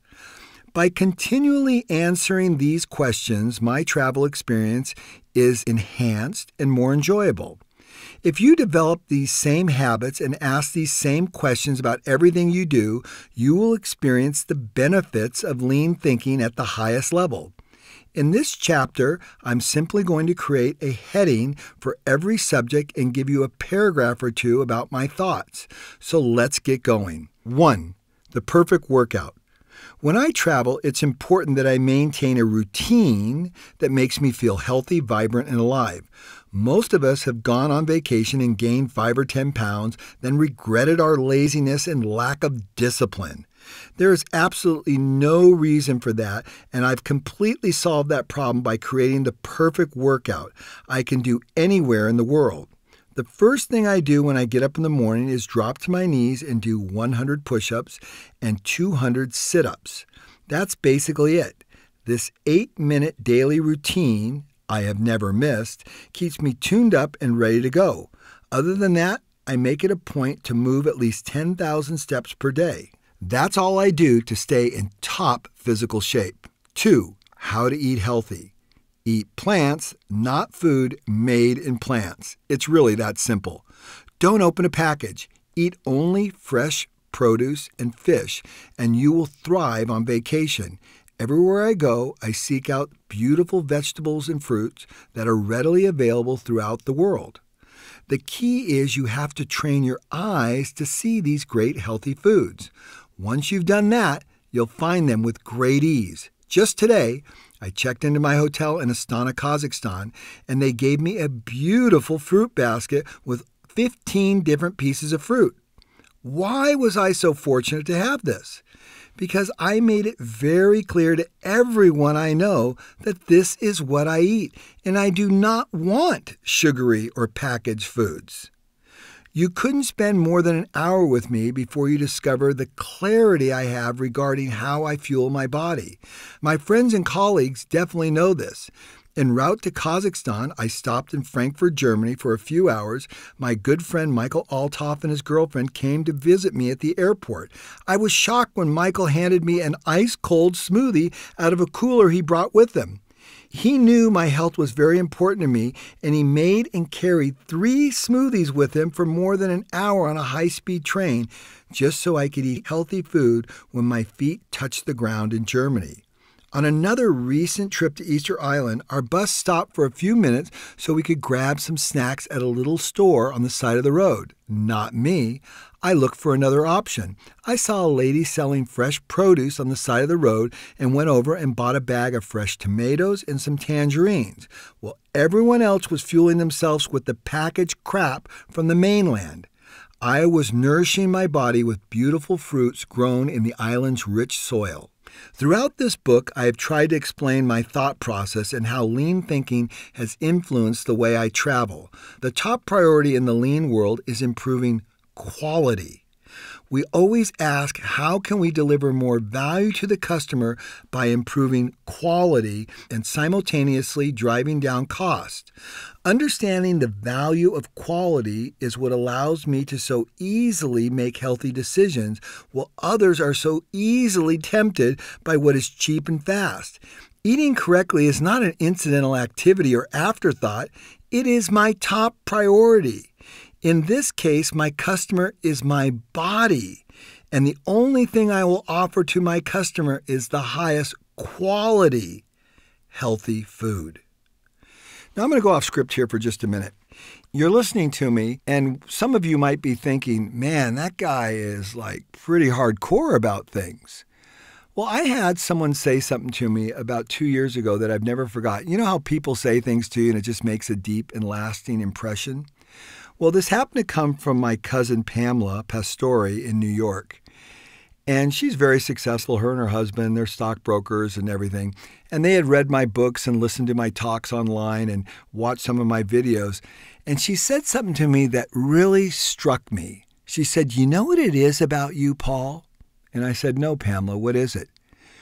Everything for you is crystal clear. There is total clarity and what you're doing and what you're trying to achieve. And I think it's that clarity that allows you to easily cut through all the BS and get to the heart of the issue. I paused and thought, man, Pamela, you know, that's exactly right. I deliberately seek for clarity because as a young man and a D&C student, not a really sharp academic, things were not very clear for me. And I had to work extra hard to make things clear so I could comprehend them and get my head around them so I could be successful.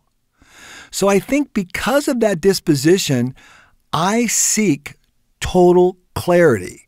So when you read through my book, this book, and other books, you might sense that that's really what's going on. And indeed, it's not happenstance, it's very deliberate. It's how I compensate. Back on track, back to the book. Number three, my health is everything. If you adopt this mindset, you will be shocked at how easy it is to take care of your health when you're traveling. If you don't have your health, travel can be difficult, and you surely would not enjoy it as much as you would if you were in great physical health. If you're a person who is full of excuses and you want to tell me how difficult it is, I guarantee it, it will be difficult. I never have a difficult time. No matter where I'm traveling, maintaining perfect health is easy and an absolute pleasure. Simple routines like carrying several apples and some nuts in my backpack make sure I'm always prepared in the rare event I can't find something healthy. You've heard me talk about my love for Kazakhstan and how much I appreciate and love the culture and the amazing hospitality of this great country. When I was there on my birthday in May, they had a great dinner to celebrate Armand's and Mitan's and my birthday. I stood up to make a toast. I told them I felt like I had Kazakh blood, that I really felt a part of the Kazakh people, and it was like I was at home when I was with them. Aydin, the president of the BI group, stood up and said, I was not just Kazakh, but I was also Naiman. He said that the Naiman people are a tribe of people from Kazakhstan that live by the water and eat fish. So I am Naiman. I focus on my health and only put the best nutrients in it. If you think like a Naiman, your body will love you for it. Number four, How to load a bus, train, boat, or plane. I wrote about this in chapter 6, but I wanted to give you a little more detail here. It may seem like a strange subject, but believe me, there are some very important nuances to understanding when you're getting on these four different modes of transportation. For example, if you're loading the bus that takes you from the airport to the terminal, you want to be the last one on. Most people rush to get off the plane and onto the bus. Then they just sit there while everybody else is getting on. Slow down. The last people off the plane will be the last people to get on the bus, which puts them the closest to the door. They will be the first ones to get off and reach the passport clearance zone. Customs can take a long time, so it's best to be in the front of the line there. Waiting a little longer on the plane makes that happen more easily. The same thing applies to the rental car bus. If you ever want to waste 20 or 30 minutes, make sure you're the last one off the bus at the rental car office. Rental car lines are ridiculously long and they move really slow. Take a spot by the door of the bus so you can be the first one in line to get the keys and the first one to drive away. There are a few exceptions to this rule, however. When you're on a bus tour that is going to last more than an hour and a half, you want to get a great view. You should be the first one on the bus so you can sit at the front and have the best vantage point. You might need to show up 20 minutes before the bus leaves to get that seat. If you're planning to board a train in Japan, you want to sit as close to the train's luggage area as possible so that when it's time to get off, you can quickly grab your bags and get to the platform. Japanese trains operate with high precision and they wait for no one. If you're a busy executive and you know you need to do a lot of phone calls during a long bus ride, it might be best to sit in the very back where you won't be disturbing everyone with your phone calls and communications. You can choose which side of the bus or plane to sit on based on where the best views are going to be. When we flew from Santiago, Chile down to Patagonia, I made sure I sat on the left side of the plane so I could view the mountains more clearly. When we were traveling to see the glaciers in Patagonia, I sat on the left side of the bus because I knew the glaciers would be on the left side of the road we were taking. It only takes a few clicks in Google Maps to find this out. People on the right side of the bus were struggling to take pictures, but not me. The important thing is to think about everything. Remember, details. If you are in a particular hot or cold climate and the sun is going to be shining on one side or the other, consider that too. Air conditioners on buses don't always work well, nor do the heaters pick the correct side so you don't bake or freeze. I'm also very careful to observe patterns of people getting on and off the buses. I even ask tour guides and drivers where to sit because that first hand knowledge can be invaluable. Little details like these can make all the difference in the world. On a boat, the best place to be is in the center because there's less motion. You should also consider how cold it's going to be. Tourists tend to rush to the open area on the top of the boat so they have a better view. But it is often very cold on the water. When they get cold, they go downstairs to look for a seat, and all of them are taken. With nowhere to sit, they have to go freeze their butts off on the deck for the hour they're on the boat. You already know my thoughts about loading a plane. Always be the last one on so you have the best opportunity to get the best seat.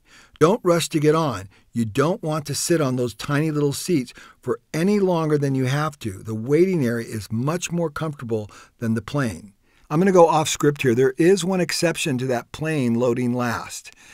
Whenever I take a sightseeing tour, I actually always make sure I'm the first one on the plane because those planes are very small and there are generally a couple seats that are strategic and much better. Namely, I'm a pilot, so I always ask if I can sit next to the pilot, and generally I always get that position, which gives me a great vantage point going forward. If you ever want to get a good example of that, watch my latest video that I did in New Zealand. It is fantastic where we're flying through the Swiss Alps of New Zealand, and I have a wonderful vantage point in a small little eight seater plane.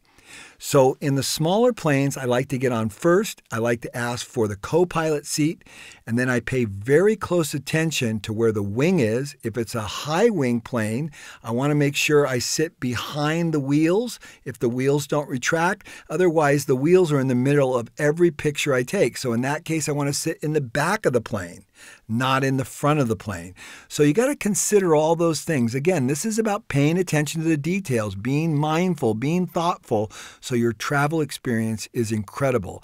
And it applies to almost everything. The same thing applies when getting on a helicopter. I always say, Can I sit next to the pilot? In general, they always give me that position because I'm the first one to ask. Thinking about these details can really make a difference. You can be lackadaisical about all of the details. Perhaps it's not a big deal to you, but they have made my travel so much more enjoyable because all the little things add up to make big improvements. 5. How to book a flight. There are two good ways to book a flight. One is to use a website like Expedia that stores all your information, credit card, passport numbers, etc and only takes a few seconds to book a flight anywhere in the world. The site is easy to navigate, prices are generally reasonable, and it retains records and receipts of upcoming and past trips. The only disadvantage is that when you go to upgrade on the day of the flight, the airlines will not always allow you to do this because the flight was booked through a third party. That brings us to the second way to book a flight to book them directly with the airlines themselves. If you book directly, you have more flexibility in terms of last minute upgrades. This can be very important, but if the website of the carrier that you're working with is not easy to navigate or cumbersome, you could easily spend 20 to 30 minutes booking a flight that you could book on Expedia in 15 seconds. For long international flights, especially, you have to weigh your options and determine the value of your time and the length of the flight and the options that you think you might need. I have a few airlines that I book directly with, even though their websites suck, because they will not allow me to upgrade to business class if I book somewhere else. This happens the most with long international flights. At the end of the day, though, Expedia is my go to site because it is fast, easy, economical, has all my information, and is more effective than any travel agent I've ever used in the past or will ever use in the future. It is stellar in all regards. I'm going to go off script here. There are two other apps that are really good for booking airline flights. Skyscanner is fantastic, and the other one is Ctrip, which is great for traveling anywhere in Asia. 6. How to book a hotel. I talked about this in Chapter 5. The last minute is when the best deals are almost always available. Period. End of subject. 7. The travel map. I'm going to go off script here. My travel map is spectacular. It is absolutely unbelievable. I love it. It's in my workout room in my home, and every day I walk in and I go, Wow, Paul, you have really traveled all over the world. It is so cool to look at, and it's so well done, and it's extremely visual. So here we go. I really recommend having a map that allows you to see where you've been and where you'd like to go. About five years ago, I ordered a large world map about three foot by four foot online and mounted it on one inch thick foam board I bought at Lowe's. The insulation foam board is sold in 4 by 8 sheets, so I cut it down with a standard utility knife and used FastCap speed tape, peel and stick two sided tape, to stick the map to the foam board. I built a custom vertical grain frame for it and hung it up.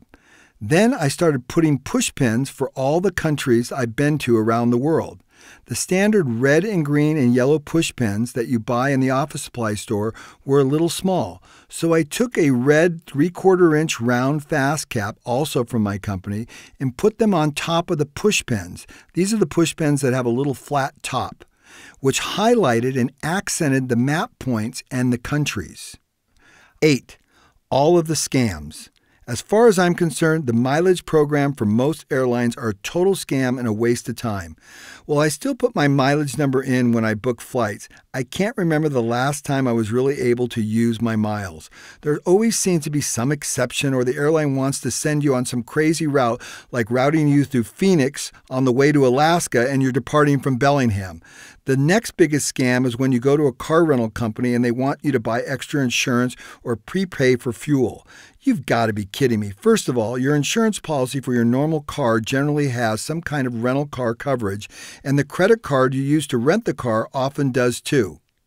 Prepaying for fuel is a bad idea because the companies charge you extra high prices if you return the car without a full tank.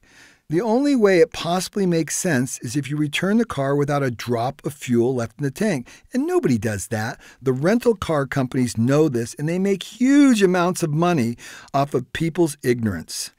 9. The perfect room checkout. Never lose a thing. I can't tell you the number of times I used to check out of one hotel and into a different one only to realize I left my charger, my toothbrush, my razor behind. Now this rarely happens if it ever happens to me. I don't forget anything because I have a simple process that almost 100% guarantees I never leave anything in the room. First, I pack up my bag and my backpack, roll them out to the door, and use them to hold the door open. Then, with both my hands free, I walk through the entire room and my bathroom one more time, looking under the bed, carefully checking to see if I left anything plugged in or in the closet, safe, or desk. I'm not holding my suitcase, my coat, or anything else, which allows me to focus on seeing things I possibly could have left behind. I start in one corner of the room and systematically work my way out to the door. This has been invaluable for me. 10. How to check into the room. Hotels are notoriously slow for checking you in, and why it takes them 5 to 10 minutes to give you your room key is a mystery to me. I can check in for my flight in about 30 seconds on an electronic kiosk, but hotels go through this laborious long process to get you the keys and get you checked in. One technique I've used to speed up the process is to walk up to the counter with my credit card and license in hand and tell the clerk, I'm in a little bit of a hurry. Can we get this done really quickly? This puts a little pressure on them so they don't dilly dally like they normally do. Next, when I get into my room, I'm very thoughtful about the way I unpack. I don't scatter my stuff all over the room. The more you scatter, the longer it takes to get packed up. So be thoughtful and careful about unpacking. Doing this will save you so much time and hassle. 11 your phone, and the rental car. Driving an unfamiliar car in an unfamiliar city can be sheer chaos if you don't prepare.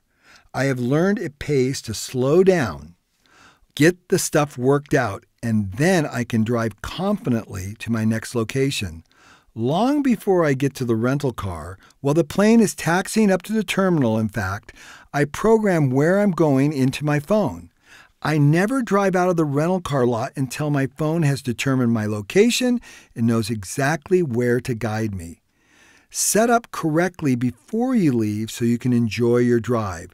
When I get into the car, I put my seatbelt on, review the controls on the dash and steering wheel, and check the map on my phone to get a basic layout of the surroundings. Then I can enjoy the drive and not worry about finding the cruise control or the air conditioner. Make sure the phone has a good place to rest on the dashboard or console and plug it into your phone charger so its battery doesn't drain down as you drive. I always make sure my backpack is in the passenger seat so if I need to get anything out of it, it is within easy reach. Also, pay very close attention to where the gas stations are when you depart the airport because you will need to fill the car up when you return. You don't want to get ripped off by the rental car companies. I always rent the smallest, cheapest car possible. Small cars are much easier to park and easier to get around in, plus, they use less fuel. When you do refuel, pay attention to the gas gauge. It has a small arrow to indicate what side the fuel tank is on.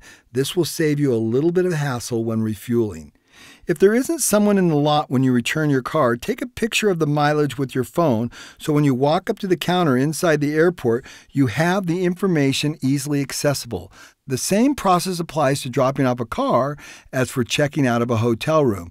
Get all your stuff out of the car, and when your hands are free, go back through the entire car, checking carefully between and underneath the seats. The key is to have your hands free so you can concentrate and focus. I'm going to go off script here. One of the biggest improvements I've made to my travel is this. I bought a phone case for my iPhone on Amazon that is for running. And this phone case has hook and loop on the back side of it. It's basically the soft side of the hook and loop. Then It has an armband you put on your arm, and that armband allows you to stick the phone to it. So it's not inside a plastic sheath. So it's really very convenient when I'm running. But the reason I'm telling this story is because I actually travel with peel and stick Velcro strips that are about two inches long, and that would be the hook side. When I get into a rental car, I take off a piece of that, stick it on the dashboard, and my phone sticks to it. It is incredible because my phone is never shifting anywhere. I can orientate my phone in landscape or portrait mode, whatever works best for me. I can answer phone calls. It just works incredible. And that phone's not shifting all over the bloody car. It is really one of the best improvements I've ever made. And then at the end of the trip, I simply peel off that hook piece. It doesn't leave any residue, put it back on the clear cellophane that it comes on, put it back in my backpack in a strategic location where I always find it. And I'm always able to get my cell phone to stick wherever it needs to stick. For example, just the other day, I had to do a Skype call with someone, and I wanted my phone to be hung at a certain position on the side of a wall. Believe it or not, I just opened up my backpack, took out a piece of that hook, stuck it on the wall, put my phone on it, and stood there and did a Skype call without fumbling for my phone. It was incredible. This hook and loop system on your phone is literally one of the best improvements I've ever made to my travel and just my general life. If you ever hang around with me, you'll see that I have hook and loop places everywhere in my home office, in my office at FastCap, in my cars, and it takes a split second. I just hit my phone on it, boom, it sticks, and it's done. No opening up a clamp or some kind of a mount that holds your phone in there that's awkward and it takes two hands. It's just push the phone on the dashboard and it's done. It's so cool. I've got lots of videos of me doing that. So watch some of my videos on travel and you'll see all my cool tips and techniques. The best thing to do though is really subscribe to my YouTube channel, uh, Paul Akers, and you'll see me post video after video of lean improvements at home, work, travel, and everywhere. And you'll be up to speed very quickly on the way I think about everything. So, Greg, our engineer, asked me, Well, what do I do about foreign travel with my phone, SIM cards, and everything? Well, in the past, I've had a couple different methodologies. Some countries, I'll actually buy a little Wi Fi router that I can travel with me that is proprietary to their particular country, and then I'm always on Wi Fi, and that works really well. The other thing I do is I have AT&T service, and to be honest with you, AT&T has been excellent all over the world. I've really had great phone coverage in the middle of the savannah in Africa or in Denmark. It doesn't matter where I am. And nowadays, AT&T has a service that for about 10 bucks a day, you can have pretty much unlimited calling and unlimited data anywhere in the world. And so my time again is so valuable. I told the story already. It's so valuable because I value my time and people are willing to pay me a lot more than most people get paid because I'm very astute at the way I manage my time. So for me, being able to be fluid in answering emails, taking phone calls, and communication on any trip is highly important. So spending $10 a day on a phone plan when I'm traveling is nothing in the scheme of things for the productivity it adds to my routine. 12. Music in the bathroom. I have to thank my good friend Michael Althoff from Germany for this one. When I stay at his home, he often lets me stay in his master bedroom. In the morning, I would wake up, turn on the bathroom light, and beautiful music would come out of the stereo system he had built into his bathroom. The second the bathroom light switched on, rock and roll would fill the room, energizing me as I showered and shaved.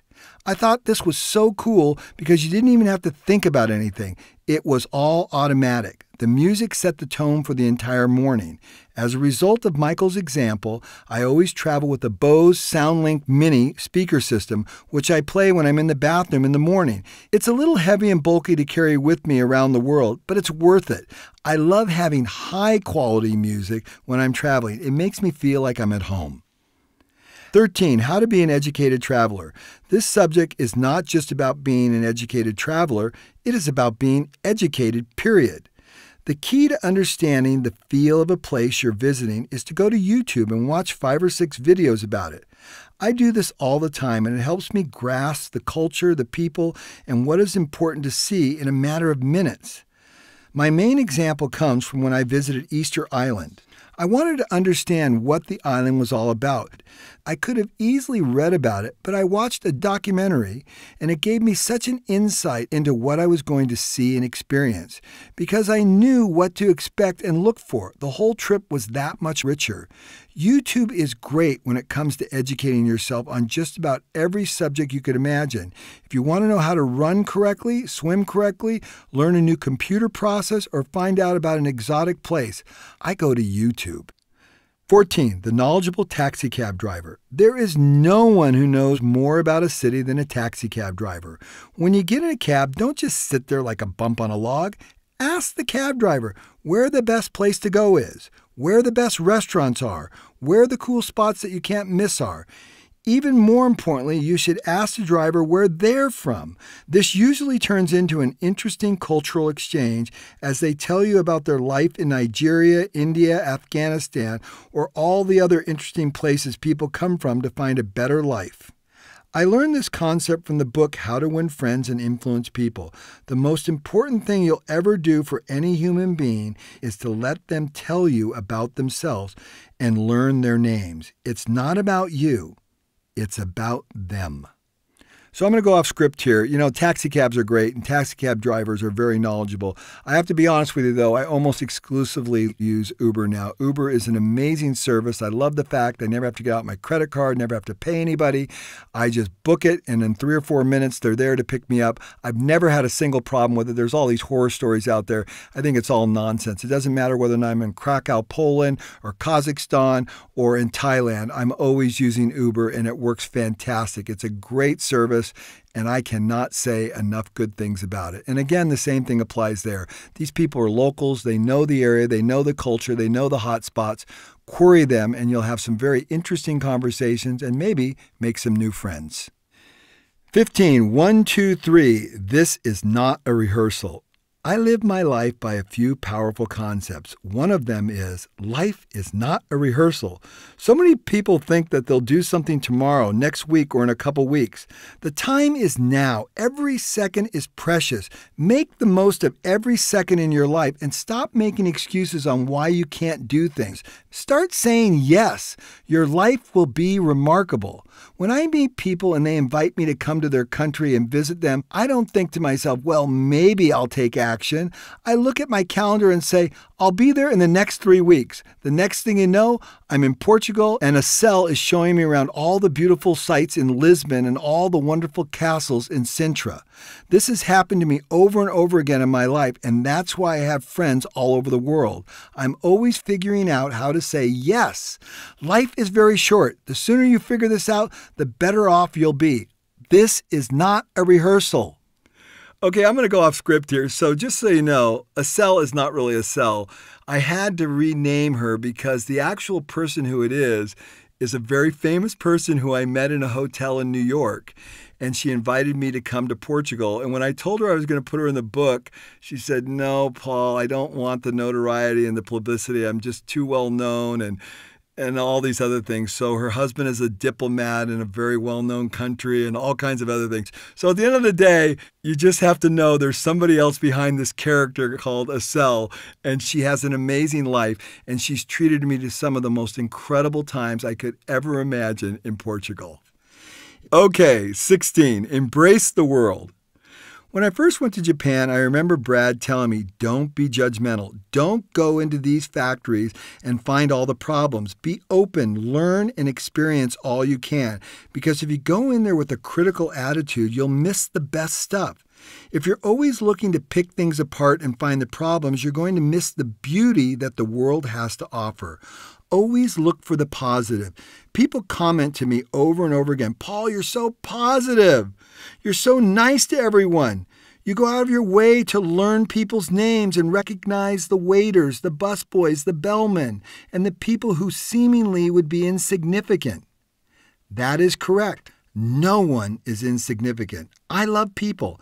I love to acknowledge them and I love to encourage them. This is the way I approach everything in life, especially when I'm in someone else's country. My favorite thing to do when I'm in Kazakhstan is to visit the canteens where all the workers eat. The women who prepare the food there are so hardworking and so diligent. They do a great job. I always go back in the kitchen and thank them for the wonderful food and get some really cool pictures with all of them. They are always a little shocked that there's an American celebrity in their country who is taking the time to acknowledge the workers in the kitchen. 17. Patience and the leopard. Everyone knows the old saying that patience is a virtue. It may be true, but I guarantee you patience is not in my DNA, nor am I particularly proficient at it. I have, however, learned to improve in this area, and I try to do the opposite of what most people do and exercise patience. Being patient has produced some of the most fabulous memories. My favorite examples of this all occurred in Africa when we were on safari. For each of them, our time spent waiting for something dramatic to happen paid off. Each time while we sat in our range vehicle with no other action occurring, Three or four other range vehicles drove away, impatient and frustrated, but I insisted we wait. As a result, we saw several spectacular sightings occur right in front of us. The first one was a leopard that had made a kill and carried it up a tree for safekeeping. As we watched, the leopard climbed back up the tree and dragged the carcass down on the ground right in front of our range vehicle, so close I could have reached out and touched the leopard. Yes, it's all on video. The second one was watching a cheetah that had also just made a kill after about an hour had gone by. A pack of hyenas ran towards it, and the cheetah ran off and left the kill. We got to see the hyenas tear into it right in front of us. Simultaneously, we saw vultures jockeying intensely to get the meat while the hyenas chased them away over and over again. It was unbelievable. We were the only ones to see it. The third one was a female lion that had lost her cubs after she had made a kill. She was yelling loudly, hoping they would hear her and return to her. Unfortunately, she had left them several miles away up on a little knoll, and they could not hear her. After an hour of her yelping, she left the kill and searched for her cubs. We followed her along the road for half an hour, and we saw them reunite it was amazing. The lioness then led them back to the kill with the rest of the pride, and they ate for another hour. Once again, everyone else missed the drama. The greatest one of all happened when we were in the Masai Mara National Reserve to see the wildebeest and the zebra migration. Thousands of the animals crossed the Mara River at one time, all while trying to avoid the crocodiles waiting intently for them. You never know for sure when the crossing is going to happen, but our ranger had a sense that it would be that day, so we parked on the riverbank and waited and waited and waited. Other range vehicles came and went, but none stayed with us. After about two hours, the crossing began right in front of us, and we had a front row seat. It was a world class sighting. All of these events are recorded in my Africa videos, and they are sheer drama. I was able to capture these memories because I did the opposite of what other people do, and I exercise extreme patience. Now I have memories that will last me a lifetime. 18. Time Zone Magic. This is such a small thing, but it makes such a big difference. The second you get on a plane when you're going to a new time zone, immediately Change the time on your phone and on your watch. The sooner you start thinking about the new time zone you'll be living in, the sooner your brain will adjust, making jet lag a non issue. For instance, if you're going to Germany and as the plane takes off you realize that they would be going to bed in about six hours, you should start thinking about sleeping in six hours. I would take a sleeping pill to start switching my body clock before we ever landed in Germany. Then, when I get there, I'm already rested and I began to assimilate into the new time zone. This can make a huge difference if you do it right. The first night, I take another sleeping pill to make sure I sleep through the night so that the next day my body has clearly adjusted to the new time zone. I do the same thing in reverse when I come home. I make sure to sleep when I'm supposed to be sleeping on the plane and take sleeping pills the first two nights after I return home. I don't want to be awake in the middle of the night. I learned this trick from a friend of mine based in Argentina who travels extensively around the world. Teddy taught it to me about 15 years ago, and it literally changed my life regarding jet lag. I don't even know what the word means anymore. 19. Smile and sell some flowers. Off script, I already told you a little bit about this story, but here are the details of it. I have talked repeatedly about the importance of greeting people with a smile and being friendly. There's a small backstory that will give you some insight into where I'm coming from. When I was 13 or 14 years old, I used to sell flowers on a corner in National City near San Diego. After school every day, I'd be dropped off on a corner with a bucket of flowers to sell. Every hour, the driver would have to come back and replenish my flowers because I had sold them all.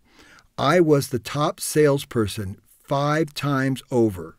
No one could even come close to selling the amount of flowers I did. I was earning between 40 and $70 a night back in 1973 and would come home every night and iron my money to make it flat. I made so much money that when I was 15, I bought my first car and sailboat. My driver was astounded and couldn't figure out how I did it. It was so simple. All I did was smile at everybody nicely who stopped at the stop sign after leaving the freeway. Hello, would you like to buy some flowers? With a grin from ear to ear, I guess everybody thought I looked like an innocent little cute boy. They would quickly hand me a $5 bill, and I would hand them a bunch of roses as they drove off. Smile, smile, smile. Be nice, and you will have a much better life. I actually reenacted this entire thing in a video called Paul's First Job. So if you go to YouTube or you go to Google and just type in my name, Paul Akers, Paul's First Job, you'll see me reenact this entire thing. And you'll hear my 92 year old mother tell the story of when I came home every night with piles of money at 13 years old. 20. Never miss a sunset.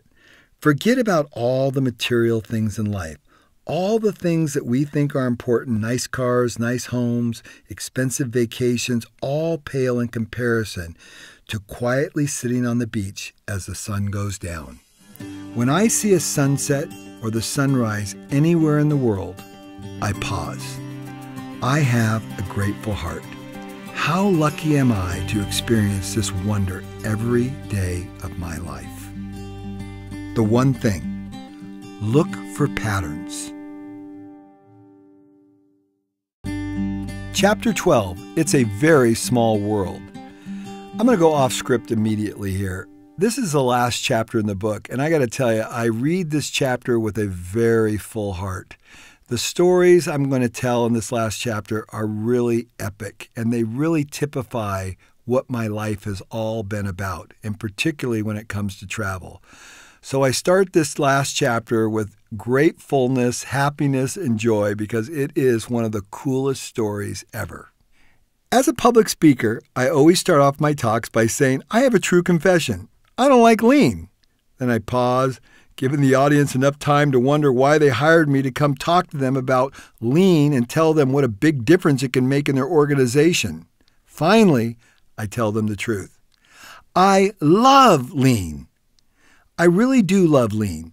It has given me so much in life.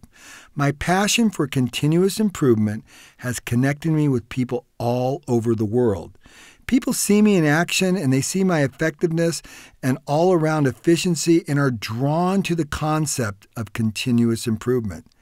They reach out to me, and the next thing you know, we develop friendships that improve and enrich their lives and mine. People gravitate towards those who are passionate and positive.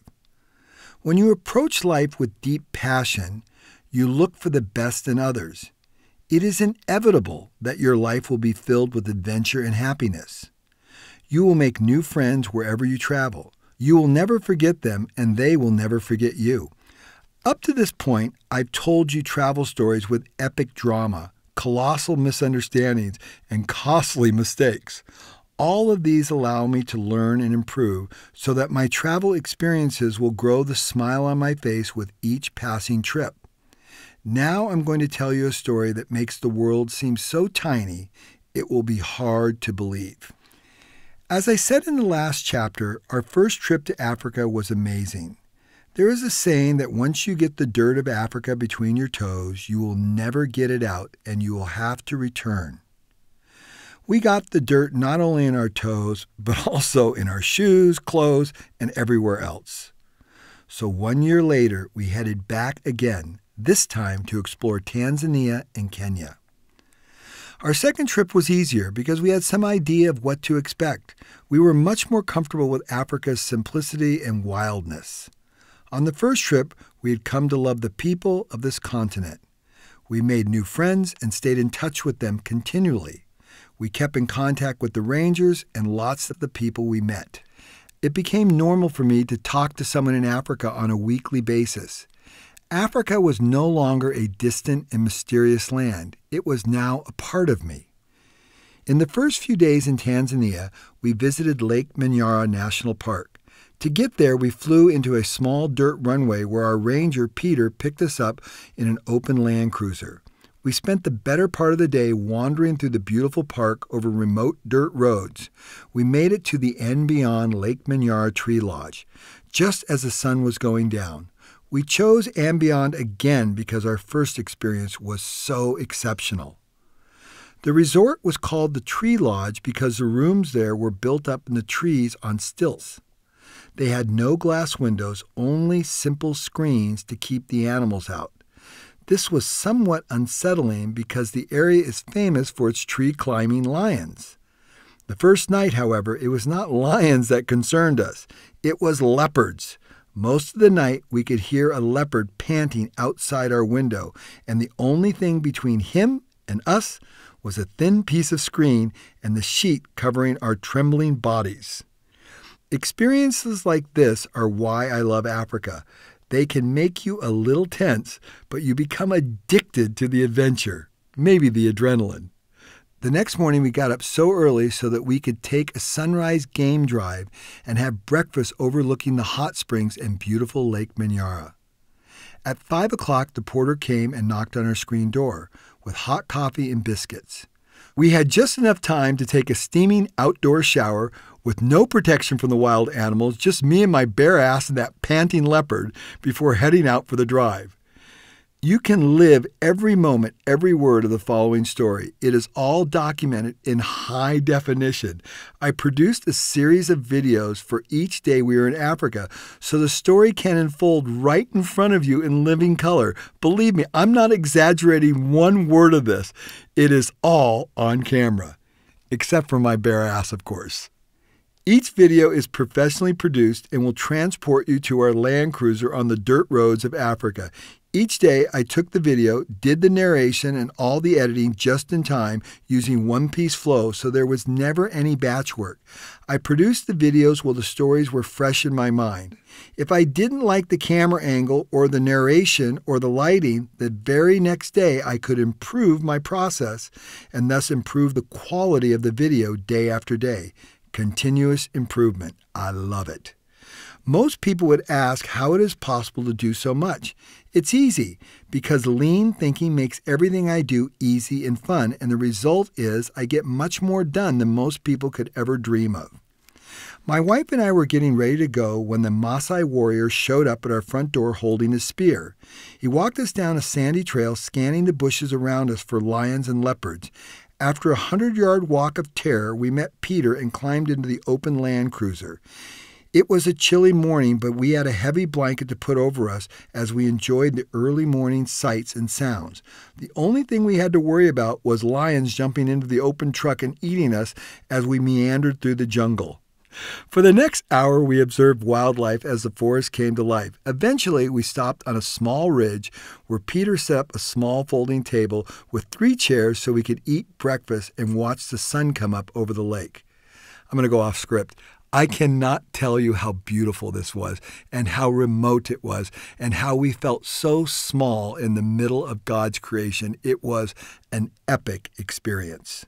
We sat down to eat a delicious meal of crepes, eggs, fresh fruit, hot coffee, and hot chocolate. I thought to myself how crazy it was to be 10,000 miles from home in the middle of nowhere, enjoying wonderful food, solitude, and nature in such a beautiful setting.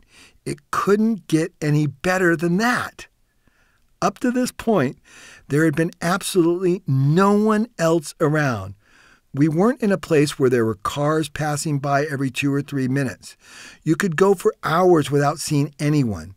It was just the land, the animals, and us, or so we thought.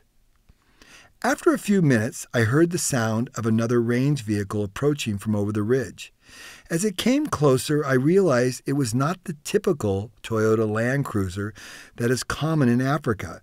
It was an older Range Rover from England, something you rarely see because they just aren't very reliable.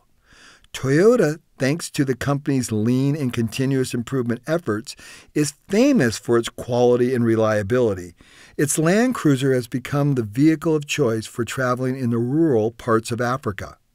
No other brand can survive the harsh African terrain. But this Range Rover had a certain charm to it, and it kind of felt like I was watching the movie Out of Africa as it approached. Being the videographer and storyteller that I am, I pulled out my camera to record the moment. Capturing a 10 second clip of this vehicle as it crossed in front of me would convey the romance of traveling across Africa. However, as the truck approached, it slowed down and stopped right next to me. I kept the camera rolling. As the man driving the car stopped and said good morning with a South African accent, I greeted him and told him what a cool truck he had. I said I was filming a little bit of it because it looked so interesting. The man was very friendly and did not mind at all. What came next surprised me, if not shocked me. He asked me if I had ever been to Phinda Forest Lodge. We were at least a thousand miles from the lodge, and I had forgotten I was wearing the Phinda Forest Lodge hat I bought a year before in South Africa, the same place we bought the famous $350 Swarovski binoculars. I told him we had gone there last year. I wondered how he knew where Phinda Forest Lodge was, since it was in a place just as remote as where we were in Tanzania. Then, to my total shock, the man told me his son worked there as a ranger. I asked him if his name was James, and he and his wife both exclaimed, Yes! we told him how James was our first ranger when we came to Africa. Then he asked, Are you Paul? we were stunned and answered yes. I'm going off scripture. I got to compose myself because when I read this story, it's so emotional because it's so unbelievable. They said, We thought we recognized you from the videos you made and the eye pull you gave him, he explained. James' father pulled out his cell phone and dialed his son, who was in another remote African country on holiday.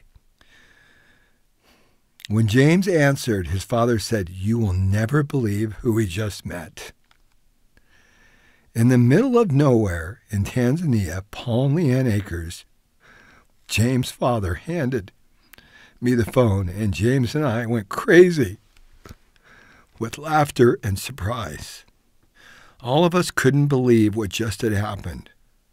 What were the chances we would be in Africa again and meet his parents in this remote location so early in the morning? It is such a small world. A week later, we were in Kenya, far out in the middle of nowhere, staying in Klein's Camp, another of the &Beyond resorts. We were en route to the Masai Mara Game Reserve because we wanted to see the great wildebeest migration in person.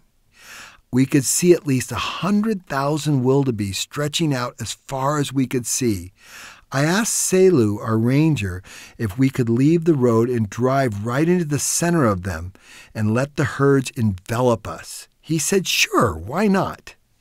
I kept my camera rolling as I hung outside the Jeep to capture the drama of chasing wildebeest at 40 miles an hour.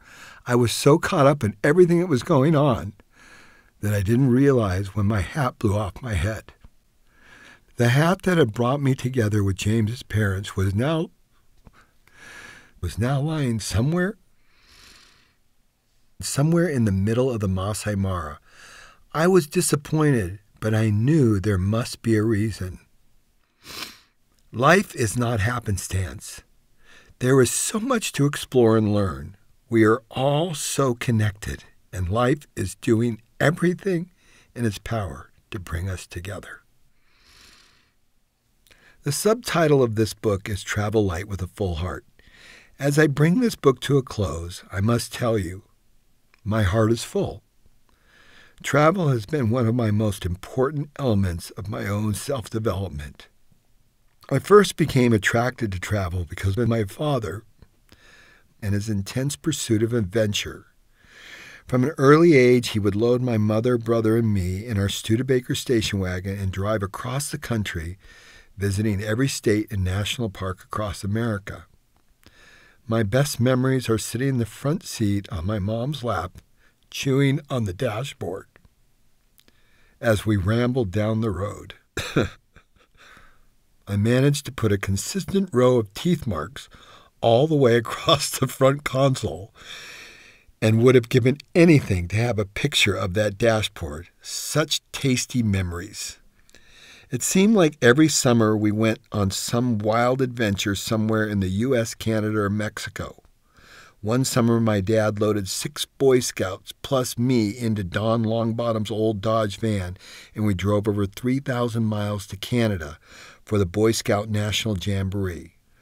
For a group of 13 year old boys, this was a high adventure. Along the way, we picked up two young hippie girls who were hitchhiking across America and gave them a ride for over 800 miles. We talked about everything with them from sex, drugs, and rock and roll to becoming vegetarians. These girls made such a big impression on me. They were living life. They were out on some great adventure and they weren't letting any inhibitions hold them back. I think my dad thought maybe the kids could learn something from this, and learn we did. They even convinced me to become a vegetarian and stop eating sugar for about one year. My dad also got a kick out of the fact that we were a gaggle of horny 13 year old boys with two cute 20 year old girls in the car, and we didn't know what to do with ourselves. Between my dad and those young girls, I came away with a burning sense of adventure that all the waters in Lake Michigan could not extinguish. Wow, what a ride! My taste for adventure travel runs deep in my family history. My grandfather left Greece in 1913 and immigrated to the United States to find a better life for his family. My dad was highly involved in Boy Scouts with me, and I became an Eagle Scout. Talk about burning resourcefulness and self reliance into my psyche at an early age. I was continually active and spent much of my free time hiking up some massive mountain like Mount Whitney, canoeing down the Colorado River, descending into the Grand Canyon, or tracking up the Zion Narrows. A well traveled friend of mine from South Africa once told me that if you want to remove all bigotry, racism, and political tension from the world, all you need to do is get people to travel. In the process, you will gain a deep appreciation and understanding of all the different cultures, languages, and religions. I couldn't agree more. People are basically good, kind hearted, willing to help, and desiring friendship and understanding almost everywhere in the world. One of my favorite illustrations of this comes from the Kazakh people. I have spent so much time in Kazakhstan, and I've never felt such warm hospitality from any other group of people. My Kazakh friends explained to me that the reason they are such open and giving people is because their ancestors were nomads living in tents in the middle of a very hostile climate. They would go months without seeing anyone, so when someone did wander across their pastures, they would welcome them in with open arms and treat them like family. This is how the Kazakh people learned about what was going on in the outside world. This is how they stimulated their minds. That's what travel does it stimulates your mind and warms your heart. If sometime in the future you should stumble across my Phinda Forest hat in the middle of Kenya, please come into my tent. Sit down and enjoy a meal. I want to know about your adventures and your travels to distant lands. Tell me what you've learned, and I will tell you about my journey and my wonderful friends. As my dad always said, life is an adventure, and a life filled with travel is the best adventure in the world. I always end my show, The American Innovator, with these words Life is an adventure. Go out and learn and improve. You can make a difference. You can change the world. People always ask me why I make videos, write books, and make almost everything I do available for free. The answer is really simple. My dad taught me to love life and to share it with everyone. He expected nothing in return, but he relished the twinkle in someone's eyes when they discovered something they didn't know. I'm just doing what my dad modeled for me. Like my father, I get great satisfaction when I see other people learn and improve their lives. So go out and learn and improve. We can change the world. The one thing we are connected, and traveling to distant lands is the thread that brings us closer together. Whatever you do, travel light with a full heart.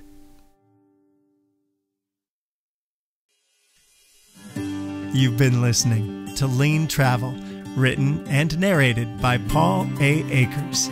For all of the lean resources and videos you've heard Paul talking about, you can find those at paulakers.net. That's also where you'll find contact information to have Paul come speak on Lean live.